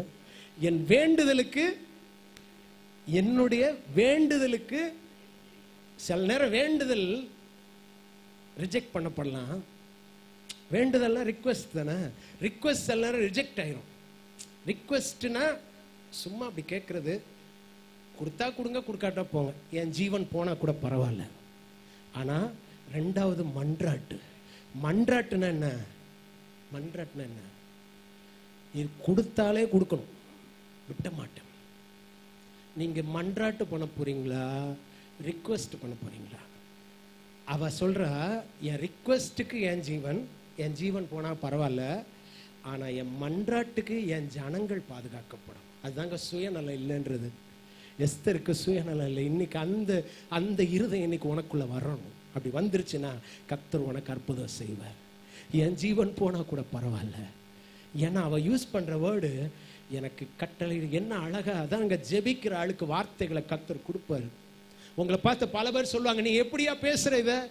எப்படி இந்த வார்த்தைகளை நீ எப்படி நீ பேசுகிறாய்? உனக்கு இந்த ஞானம் எங்க இருந்து வந்துச்சுன்னு ஜனங்கள் கேட்கும்படியே கத்தர் செய்வார். ஒரு சாதாரண ஒரு வீட்டில் இருந்தவள் அப்பா இல்லாம அம்மா இல்லாம இருந்த ஒரு ஒரு எஸ்தருக்கு இவ்வளவு ஞானத்தை கொடுத்தது யாரு?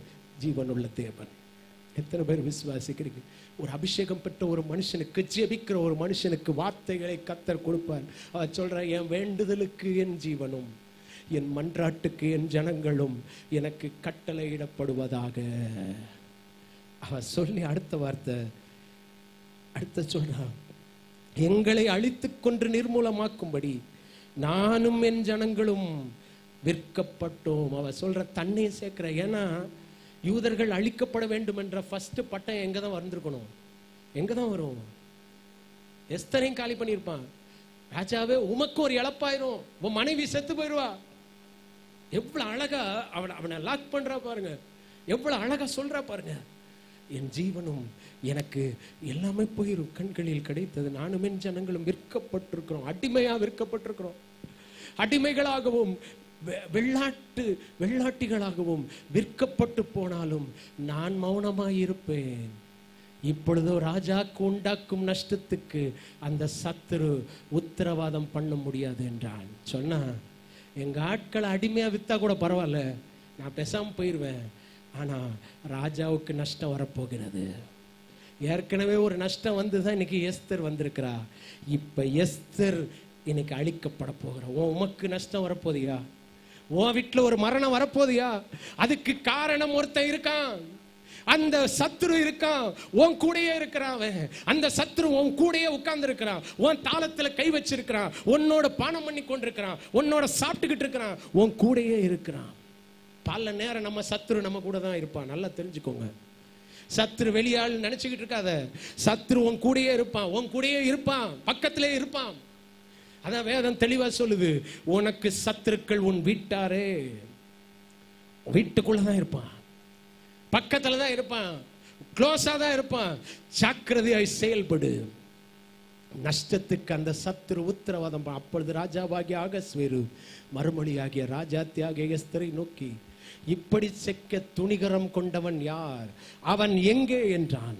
அடுத்த வார்த்தை அதற்கு எஸ்தர் சத்ருவும் பகைங்கனுமாகிய அந்த மனிதன் இந்த துஷ்ட ஆமான் தான். இவன் தான் சொல்லிட்டான் சொன்ன உடனே ராஜாவுக்கு செம கடுப்பாயிடுச்சு. என் மனைவியவே கொல்றதுக்கு ரெடி ஆயிட்டானே. ஏன்னா இவ தெரியாது. பாருங்க இவ யூத குலம்னு சொல்லாம இருக்க வச்சது ஆண்டவருடைய சுத்த கிருப. ஆமே ஆண்டவர் சில ஆளை காலி பண்ணணும்னா சிலதை மறைக்க வைப்பார். யூத குலம்னு இவ சொல்லியிருந்தானா ஆமான் முதல்ல கையெழுத்து போட்டுக்க மாட்டான். இந்த சம்பவங்கள்லாம் நடந்திருக்காது ஆமான் உயிரோட தான் இருந்திருப்பான். இந்த ஆமானை காலி பண்ணணுன்றதான் கத்தருடைய திட்டம். ஏன்னா துன்மார்க்கனின் கொம்பு இருக்கக்கூடாது. கத்த துன்மார்க்கனின் கொம்பை கண்டிப்பா இருக்க விட மாட்டார். நல்லா தெரிஞ்சுக்கோங்க. நல்லா தெரிஞ்சுக்கோங்க. சர்ச்சிலேயே துன்மார்க்கமாக எழும்புற ஆளை யாரையும் ஆண்டவர் சும்மா விடவே மாட்டார். நல்லா தெரிஞ்சுக்கோங்க. சபைக்கு விரோதமாக சபைக்கு எந்த காரியத்திலையும் எழும்பி சபையை அழிக்கலாம் திட்டம் போடலாம் வேண்டாத காரியத்தை பேசலாம்னு நினச்சிருந்தா கண்டிப்பாக அவர்களை அந்த சபையை விட்டு த- துரத்திடுவார். எங்கிருந்த இருக்க விட மாட்டார். தேவனுடைய ராஜ்யத்தை கெடுக்க எந்த மனுஷனையும் விட்டவே மாட்டார். தேவ ஊழியக்காரனை வேதனைப்படுத்த யாரையும் விட்டவே மாட்டார். ஏன்னா அது சபையை டிஸ்டர்ப் பண்ணும். ஊழியக்காரன் மேல ஊழியக்காரன் பெரிய ஆளுன்றதுக்கு இல்ல. நீ ஊழியக்காரனை து- துன்பப்படுத்தினா அது யாரை டிஸ்டர்ப் ஆகும்? சபையை டிஸ்டர்ப் பண்ணும். சபையில இருக்கிற நூறு பேரை டிஸ்டர்ப் பண்ணும். அதுக்கு ஆண்டவர் விட மாட்டார். அவ பாருங்க பிராணனுக்காக விண்ணப்பம் பண்ண எழுந்து நின்றான். அப்பொழுது உக்கிரத்தோட அவன் எந்திரிச்சு முற்றத்துக்கு போகிறான் போகிற நேரத்தில் ஆமானுக்கு ஆகா கதை கந்தல்னு தெரிஞ்சிருச்சு. இன்னைக்கு நம்மளை கொண்டு போட்டுருவான்னு தெரிஞ்சிருச்சு. உடனே காலில் விழப்போனான். காலில் விழப்போனவன் போனவன் அவளுடைய பெட்டில் என்ன செஞ்சுருக்கான்? போய் விழுந்திருக்கான். ராஜா திரும்பி வரும் பொழுது அவன் கண்ணில் என்ன மாதிரி தெரிஞ்சிச்சுன்னா என் கண்ணு முன்னாலேயே என் ராணியை பலவந்தம் பண்ணா போயிட்டானா? அப்படின்ற மாதிரி நினச்சி உடனே அவனை காலி பண்ணுங்கள். அவனை பிடிங்கன்னு சொல்றதுக்குள்ளேயே எனக்கு ஆச்சரியமா இருக்குங்க. அந்த வார்த்தை ராஜா உத்தரவும் கொடுக்கல தூக்கி போடுங்கன்னு சொல்லலை கொல்லுங்கன்னு சொல்லலை. ஆனால் துணியோட நின்றுருக்கான் பாருங்க நாலு பேர். நல்லா வாசித்து பாருங்க. துணியை கொண்டாந்து அவன் முகத்தை மூடினார்கள் இருக்கு. மூடிட்டான். ஏன்னா அவனுக்கு தெரியும்ல வேலைக்காரனுக்கு ஏற்கனவே ஒரு தூக்கு மேடை ரெடியாக இருக்குன்னு அந்த துணியவே தூக்கிட்டு வந்திருக்காங்க. எப்படி எந்த நம்பிக்கையோடு தூக்கிட்டு வந்தானுங்கன்னு தெரியல. அவன் காலிலேருந்து இருந்து இருக்கான். காலிலேருந்து யாரை அ- முருதைக்காய போடணும்னு ரெடியாக இருக்காங்க. இதுக்கு சாயந்தரம் தான் பெர்மிஷன் வந்திருக்கு. அதனால அவன் துணியை பத்திரமா பாக்கெட்டில் வச்சுருந்துருப்பான்னு நினைக்கிறேன். துணியை வச்சு மூடிட்டான். மூடி கொண்டு போய் அவனுங்களே கொண்டு எங்கே போட்டான்? அவன் வைத்த வலையில் அவனையே விளைவித்தார்கள் வைத்தார்கள். எத்தனை பேர் விசுவாசிக்கிறீங்க? இந்த சம்பவம் உங்களுக்கு எல்லாருக்கும் தெரிஞ்ச சம்பவம் தான். ஆனால் ஆவியானவர் இதில் பல பல காரியத்தை நம்மோடு பேசியிருக்கிறார். எத்தனை பேர் விசுவாசிக்கிறீங்க? இன்னைக்கு நீ ஜெபிக்கிற ஒரு மனுஷனாக இருந்தால் நீ சாதிக்க முடியும். நூற்றி இருபத்தேழு நாடுகளின் ராஜாவை அசைக்க உன்னால முடியும். எந்த ராஜாவையும் அசைக்க முடியும். எத்தனை பேர் விசுவாசிக்கிறீங்க? ஒரு பிரைம் மினிஸ்டராக இருக்கலாம். அவரை அசைக்க வைக்க உன்னுடைய ஜெபம் போதும். ஒரு உண்மையான எஸ்தரின் ஜெபம் போதும். யாரையும் அசைக்க முடியும். எந்த சட்டங்களை மாற்றி அமைக்க முடியும். கத்தருக்காக எழும்பி பெரிய காரியங்களை செய்ய முடியும். உனக்குள்ள சுயநலம் இருக்க வேண்டாம். எஸ்தரை போல ஜெபம் பண்ணு. நான் செத்தாலும் சாகிறேன். அவ விண்ணப்பம் பண்ணும்போதும் கேட்குறா பாருங்க. என் விண்ணப்பம் என் ஜீவனுக்காக நான் விண்ணப்பம் பண்றேன். ஆனா மன்றாட்டு யாருக்காக? என் ஜனங்களுக்காக. எவ்வளவு அழகா இருக்குல்ல அவளுடைய ஜெபம். நீ அப்படி ஜெபம் பண்ற ஆளா நீங்க இருக்கணுங்க. உன்னுடைய எண்ணமெல்லாம் அடுத்த ஜனங்கள் ஆசீர்வதிக்கப்படணுன்ற எண்ணம் உங்களுக்குள்ள இருந்தா கத்தர் உன்னை உயர்த்தி கொண்டே போக ஆரம்பிப்பார். அடுத்த வசனங்கள் பார்க்கும் பொழுது ஆச்சரியமா இருக்குது. பயங்கரமாய் கத்தர் எழும்ப ஆரம்பிக்கிற ராஜா உடனே எழும்பிட்டான். எழும்பி எஸ்தர் கையில எல்லாத்தையும் கொடுத்தான். வேதம் தெளிவாய் சொல்லுகிறது ஆமானின் வீட்டை கத் யார் ராஜா எஸ்தரிடத்தில் கொடுத்தான் என்று பார்க்கும் ஆமா உடனே வீடை எழுதி கொடுத்துட்டாங்க. ரெஜிஸ்ட்ரேஷன் நடக்குது. அடுத்த நாள். அடுத்த நாள் என்ன ரெஜிஸ்ட்ரேஷன் நடக்குது? சிரேஷை காலி பண்ணிட்டாங்க. வீட்டை காலி பண்ணி வீடு ரெஜிஸ்ட்ரேஷன் பண்ணி யார் வீட்டுக்கு வந்துருச்சு? வேதம் அப்படிதான் போட்டு அடுத்த வசனம் வாசித்து பாருங்க. ராஜா யார் கையில் கொடுத்தாங்க? எஸ்தர் கையில் கொடுத்த காரியம் எப்படி முடிந்தது? இப்ப சொல்லுங்க எல்லாரும் காரியம் என் வாழ்க்கையில மாறுதலாய் முடியும். காரியத்தை மாறுதலாய் மாற்றி இருக்கிறார் எல்லாருக்குள்ளே ஒரு சந்தோஷம் வந்தது என்று பார்க்கிறோம். கத்தர் ஆமானின் போஸ்ட்ல கத்தர் முருதேகாயை கொண்டு வந்து சேர்த்தார்.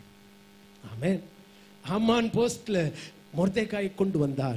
மொர்தேகாயின் நிமித்தம் அந்த கடைசி அதிகாரத்தை மாத்திரம் வாசிட்டா என்னையோட முடிஞ்சிருங்க. கடைசி அதிகாரம் பத்தாம் அதிகாரத்தில் நீங்கள் வாசித்து பாருங்களேன். பத்தாம் அதிகாரம் கடைசி வசனம். ராஜாவின் வார்த்தையின்படி அவருடைய கட்டளையின்படியும் செய்யப்படுகிறதற்கு ஆதார் மாதம் என்கிற பனிரெண்டாம் மாதம் பதிமூன்றாம் தேதியிலே யூதரின் பகைஞர் அவர்களை மேற்கொள்ளலாம் என்று நம்பினார்களே. அந்நாளிலே தானே யூதரானவர்கள் தங்கள் பகைஞனை மேற்கொண்ட ப- கொள்ளும்படிக்கு காரியம் மாறுதலாய் முடிந்தது. ஒரு அலையிலேயே சொல்லுங்க. காரியம் மாறுதலாய் காரியம் மாறுதலாய் முடிந்தது. பத்தாவது வருஷம் பத்தாவது அதிகாரத்தை போடுங்க. பத்தாவது அதிகாரம். பத்தாவது அதிகாரம். பத்தாவது அதிகாரம் பாருங்க. அதுல யூதனாகிய முர்தேகாயே ராஜாவாகிய ஆகாஸ்வேருக்கு இரண்டாவதானவனும் யூதருக்குள் பெரியவனும் தன் திரளான சகோதரருக்கு பிரியமானவனுமாய் இருந்ததும் அன்றி தன் ஜனங்களுடைய நன்மையை நாடி தன் குலத்துக்கு குலத்தாருக்கெல்லாம் சமாதானம் உண்டாக பேசுகிறவனாய் இருந்தான். கத்தர் ஒரு மனுஷனை உயர்த்தினா நீ சமாதானமாய் எல்லாருக்கும் நல்லது செய்கிற ஆளாக நம்ம மாறிடணும். ஆமே சமாதானம் உண்டாக ப- ப- பண்ணுகிறவனாய் கத்தர் முருதைகாயை மாற்றினார். கண்களை மூடுவோம். எல்லார் கண்களை மூடுவோம். எத்தனை பேர் இன்னைக்கு என்னோட ஆண்டவர் பேசியிருக்கிறார்? இன்னைக்கு கத்தர் உங்களுடைய விடுதலையை மாத்திரம் இன்னைக்கு சொல்லலை. தேசத்துக்கு ஒரு பெரிய மாற்றத்தை கொடுக்க போகிறார் அழிஞ்சு போற ஜனங்களுக்கு ஒரு மாற்றத்தை கத்தர் உன் மூலமாய் கத்தர் கொடுக்க வைக்கிறார். உன்னை ஒரு கத்தர் எடுத்து உன்னை எஸ்தராய் பயன்படுத்த போகிறார். யாருக்கு தெரியும்? நீ அநேகருக்கு ஆசீர்வாதமாய் மாற வேண்டும். உனக்கு விரோதமாய் இருக்கிற பிரச்சனைகள் மாறும். ஆனா நீ அதுக்காக உன்னை அழைக்கல. கத்தர் உன்னை கொண்டு பலருக்கு பலரின் கஷ்டங்களை மாற்றுகிற ஒரு பாத்திரமாய் உன்னை மாற்றுவதற்காகவே கத்தர் உன்னை அழைத்திருக்கிறார். எத்தனை பேர் இன்னைக்கு என்னோட பேசியிருக்கிறார் ஆண்டவர்? நான் என்ன ஒப்பு கொடுக்குறேன்னு சொல்கிறவங்க எழும்பி நிற்பீங்களா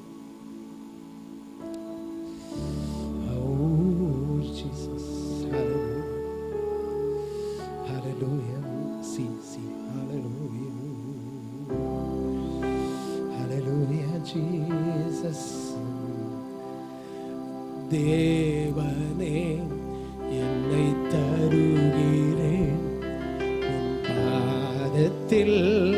என்னை படைக்கிறேன் யாவையும்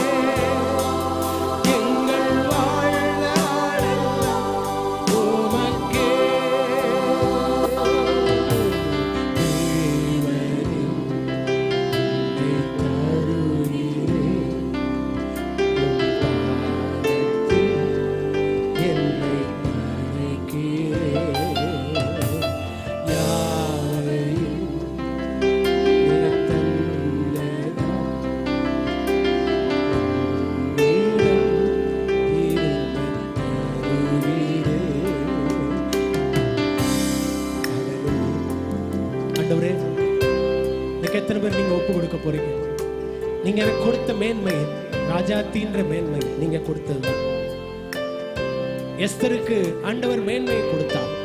அந்த மேன்மையை கத்தருக்காகவே பயன்படுத்தினார். தான் ஜீவனை பாதுகாக்கிறதுக்காக அவ பயன்படுத்தல. அவ சொல்ற என் விண்ணப்பத்திற்கு என் ஜீவனும் மன்றாட்டிற்கு என் ஜனங்கள். அவ மன்றாட்டுக்காக தான் போராடினாள். தன் ஜீவனுக்காக அவ போராடல.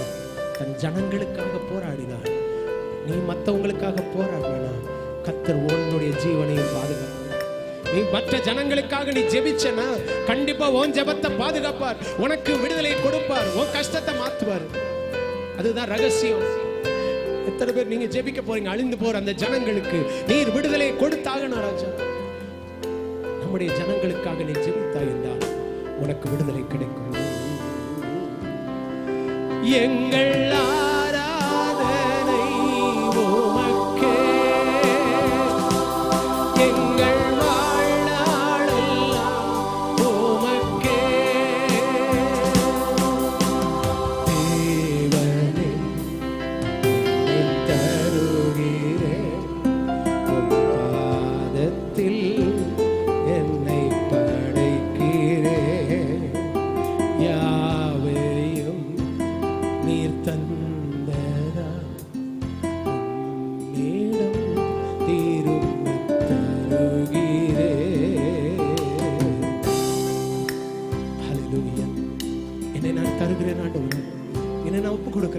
கர்த்தரை போல. பிரதர் சிஸ்டர் கர்த்தர் உன்னை கொண்டு ஒரு பெரிய பிளானை வச்சிருக்கார். உன் குடும்ப பிரச்சனையை சால்வ் பண்ண மாத்திரமல்ல உன்னை கொண்டு அநேகருக்கு ஆசீர்வாதமான ஒரு பாத்திரமாய் பயன்படுத்த விரும்புகிறார். நீ ஆண்டவருடைய திட்டத்திற்கு உன்னை ஒப்பு கொடு இந்த நேரத்துக்கு உன்னை ஒப்பு கொடு முன் மண்டியிட்டு ஜோ பண்ணு. தேவ பாதத்தில் கண்ணீரோட ஜோ நான் செத்தால சாகுறேன். உன் ஜீவனை நீ மதிக்காத. தன் ஜீவனை காக்க விரும்புகிறவன் அதை இழந்து போவான் என்று வேதம் சொல்லுகிறது. தன் ஜீவனை நஷ்டப்படுத்துகிறவன் அதை லாபமாய் அவன் பெற்றுக்குவான் பரந்த பரலோகத்தில்னு சொல்லியிருக்கு. நீ உன் வாழ்க்கை ஆண்டவருக்கு என்று அர்ப்பணி. என்னை நான் முழுவதுமாய் ஒப்பு கொடுக்கிறேன் என்று சொல். அப்பொழுது கத்தர் உனக்காக யாவையும் செய்து முடிப்பார். Hallelujah, எல்லாரும் ரெண்டு கரங்களை உயர்த்து. எல்லாரும் எல்லாரும் ஒப்பு கொடுக்கும் இன்னைக்கு ஒரு விடுதலை கொடுப்பார் சிஸ்டர் உங்களுக்காக ஜெபிப்பாங்க. கத்தர் ஒரு விடுதலையை கொடுப்பார். உன் கஷ்டத்தை மாற்றுவார் உன் கண்ணீரை மாத்துவார் உன் பிரச்சனைகளுக்கு ஒரு முடிவு கட்டுவார். எல்லா கஷ்டங்கள் மாறும். மற்றவர்களுக்காக ஜெபிக்கிறதுக்கு இன்னைக்கு ஒன்று அர்ப்பணி. அழிந்து போற ஜனங்களுக்காக ஜெபம் உன்னை கொண்டு பெரிய காரியங்களை செய்வார். நிப்பா ஊழியத்தை செய். கத்தருக்காக ஊழியம் செய். கத்தருக்காக ஊழியம் செய். கத்தருக்காக நீ காரியங்களை நடப்பி. தேவனுக்காக உன்னை அர்ப்பணி. கத்தர் உன்னை கொண்டு பலத்த கிரியைகளை கத்தர் செய்கிறதை நீ கண்ணால பார்த்தோம் கத்தர் உனக்காக யாவையும் செய்து முடிப்பார். கைகளை உயர்த்திக்கோங்க. உங்களுக்காக ஜெபம் பண்ணுவாங்க ஸ்தோத்திரம் ஆண்டவரே துதிக்கிறோம். எங்கள் பரம தகப்பனே இந்த பூமியில கத்தாவே உடைய திட்டத்தையும் தீர்மானத்தையும் நாங்கள் நிறைவேற்றுகிறதான உடைய பரிசுத்த சந்ததியாய் கத்தர் எங்களை மாற்றுவீராக தகப்பனே. அழிவுக்கு நேராய் இருளுக்கு நேராய் கிடைக்கிறதான இந்த பூமியை கர்த்தர் ஆண்டவரே எஸ்தர் போல உள்ள ஜனங்களை கொண்டு மீட்கும்படியாய் அதிகாரத்தை கரங்களில் கொடுத்து வைத்திருக்கிறவரே உமக்கு நாங்கள் நன்றி செலுத்துகிறோம். இந்த ராஜ மேன்மையை நாங்கள் எங்களுக்கென்று அனுபவியாதபடி அழிந்து போகிற ஆத்துமாக்களுக்காக உடைய சமூகத்தில் மன்றாடி ஒரு மீட்பை நாங்கள் பெற்றுக்கொள்கிறவர்களாய் கர்த்தர் நீர் எங்களை மாற்றுவீராக தகப்பனே. எங்களுடைய சிந்தையை கர்த்தர் நீர் மாற்றுவீராக. கத்தாவே எங்களுடைய எண்ணங்கள் யோசனைகள் நினைவுகள் எல்லாம் இயேசுவாய் மாறட்டும் தகப்பனே. எங்களுக்காக இயேசு கிறிஸ்துவை அடிக்க கொடுக்கப்பட்ட ஆட்டுக்குட்டியானவராய் எங்களுடைய மீட்புக்காக விடுதலைக்காக கொடுத்தவர். உடைய அன்பை எண்ணி தகப்பனே இந்த பூமியில் அழிந்து போகிற ஜனங்களுக்காக ஆண்டவரே நாங்கள் எழும்பி செயல்படுகிறதான நாட்களுக்குள்ளாக நாங்கள் கடந்து செல்ல கர்த்தர் எங்கள் கரங்களை பலப்படுத்துவீராக. கர்த்தருடைய சமூகத்தில் எங்களை ஒப்பு கொடுத்து தாழ்த்தி வெறுமையாக்குகிறோம். கர்த்தாவே நாங்கள் மறையட்டும் தகப்பனே நீர் எங்களில் பிழைப்பீராக. எல்லாவற்றையும் உடைய பரிசுத்த கரத்துல ஒப்பு கொடுக்கிறேன் எங்கள் சிந்தை மாற்றப்படட்டும். தேவ சமூகத்துல நாங்கள் உயிர்ப்பிக்கப்படும்படியாய் செவிக்கிறேன் இயேசுவின் மூலம் ஜெபிக்கிறேன். ஜீவனுள்ள பரம தகப்பனே. ஆமே எத்தனை பேர் விசுவாசிக்கிறீங்க? ஜெபிக்கிற ஒரு மனுஷனுக்கு கத்தர் விசேஷத்த ஞானங்களை தருவார். எப்படி பேசணும்னு உதவி செய்வார். அவர் சொன்னா ராஜா வீட்டிலேயே கஷ்டம் வரப்போகுது. அதுக்கு இந்த சத்ரு கிளி கிளிய செஞ்சிருக்கிறோம். இன்னைக்கு நிறைய நேரம் நம்ம வீட்டிலே இருக்கிற பிரச்சனைகளை கண்டுக்காம விட்டுறோம். நம்மளை கொல்றதுக்கே சத்தம் வர்றான். இன்னைக்கு நீங்க ஜெபம் பண்ணுங்க. கர்த்தர் எல்லா காரியத்தையும் மாறுதலாய் மாற்றி கொடுப்பார். ஒரு விடுதலை கர்த்தர் தருவார். நீ பெரிய காரியங்களை செய்ய போகிறதற்காக நன்றி. எல்லா கன மகிமை புகழ் உமக்கே செலுத்துகிறோம். என் ஆத்மாவை கத்திரை ஸ்தோத்ரி என் முழுமை பரிசுத்த நாமத்தை ஸ்தோத்ரி என் ஆத்மாவை கத்திரை ஸ்தோத்ரி கத்த செய்த சகல உபகாரங்களை மறவாதே. நம்முடைய பிதவாகிய தேவனுடைய அன்பும் கத்தராகிய இயேசு கிறிஸ்துவின் கிருபையும் பரிசுத்தாவியானவரின் அந்யோன்ய ஐக்கியமும் நம் அனைவரோடு சதா காலம் நம்மோடு கூட இருப்பதாக. ஆமென். ஹalleluya ஹலலூயா ஹலலூயா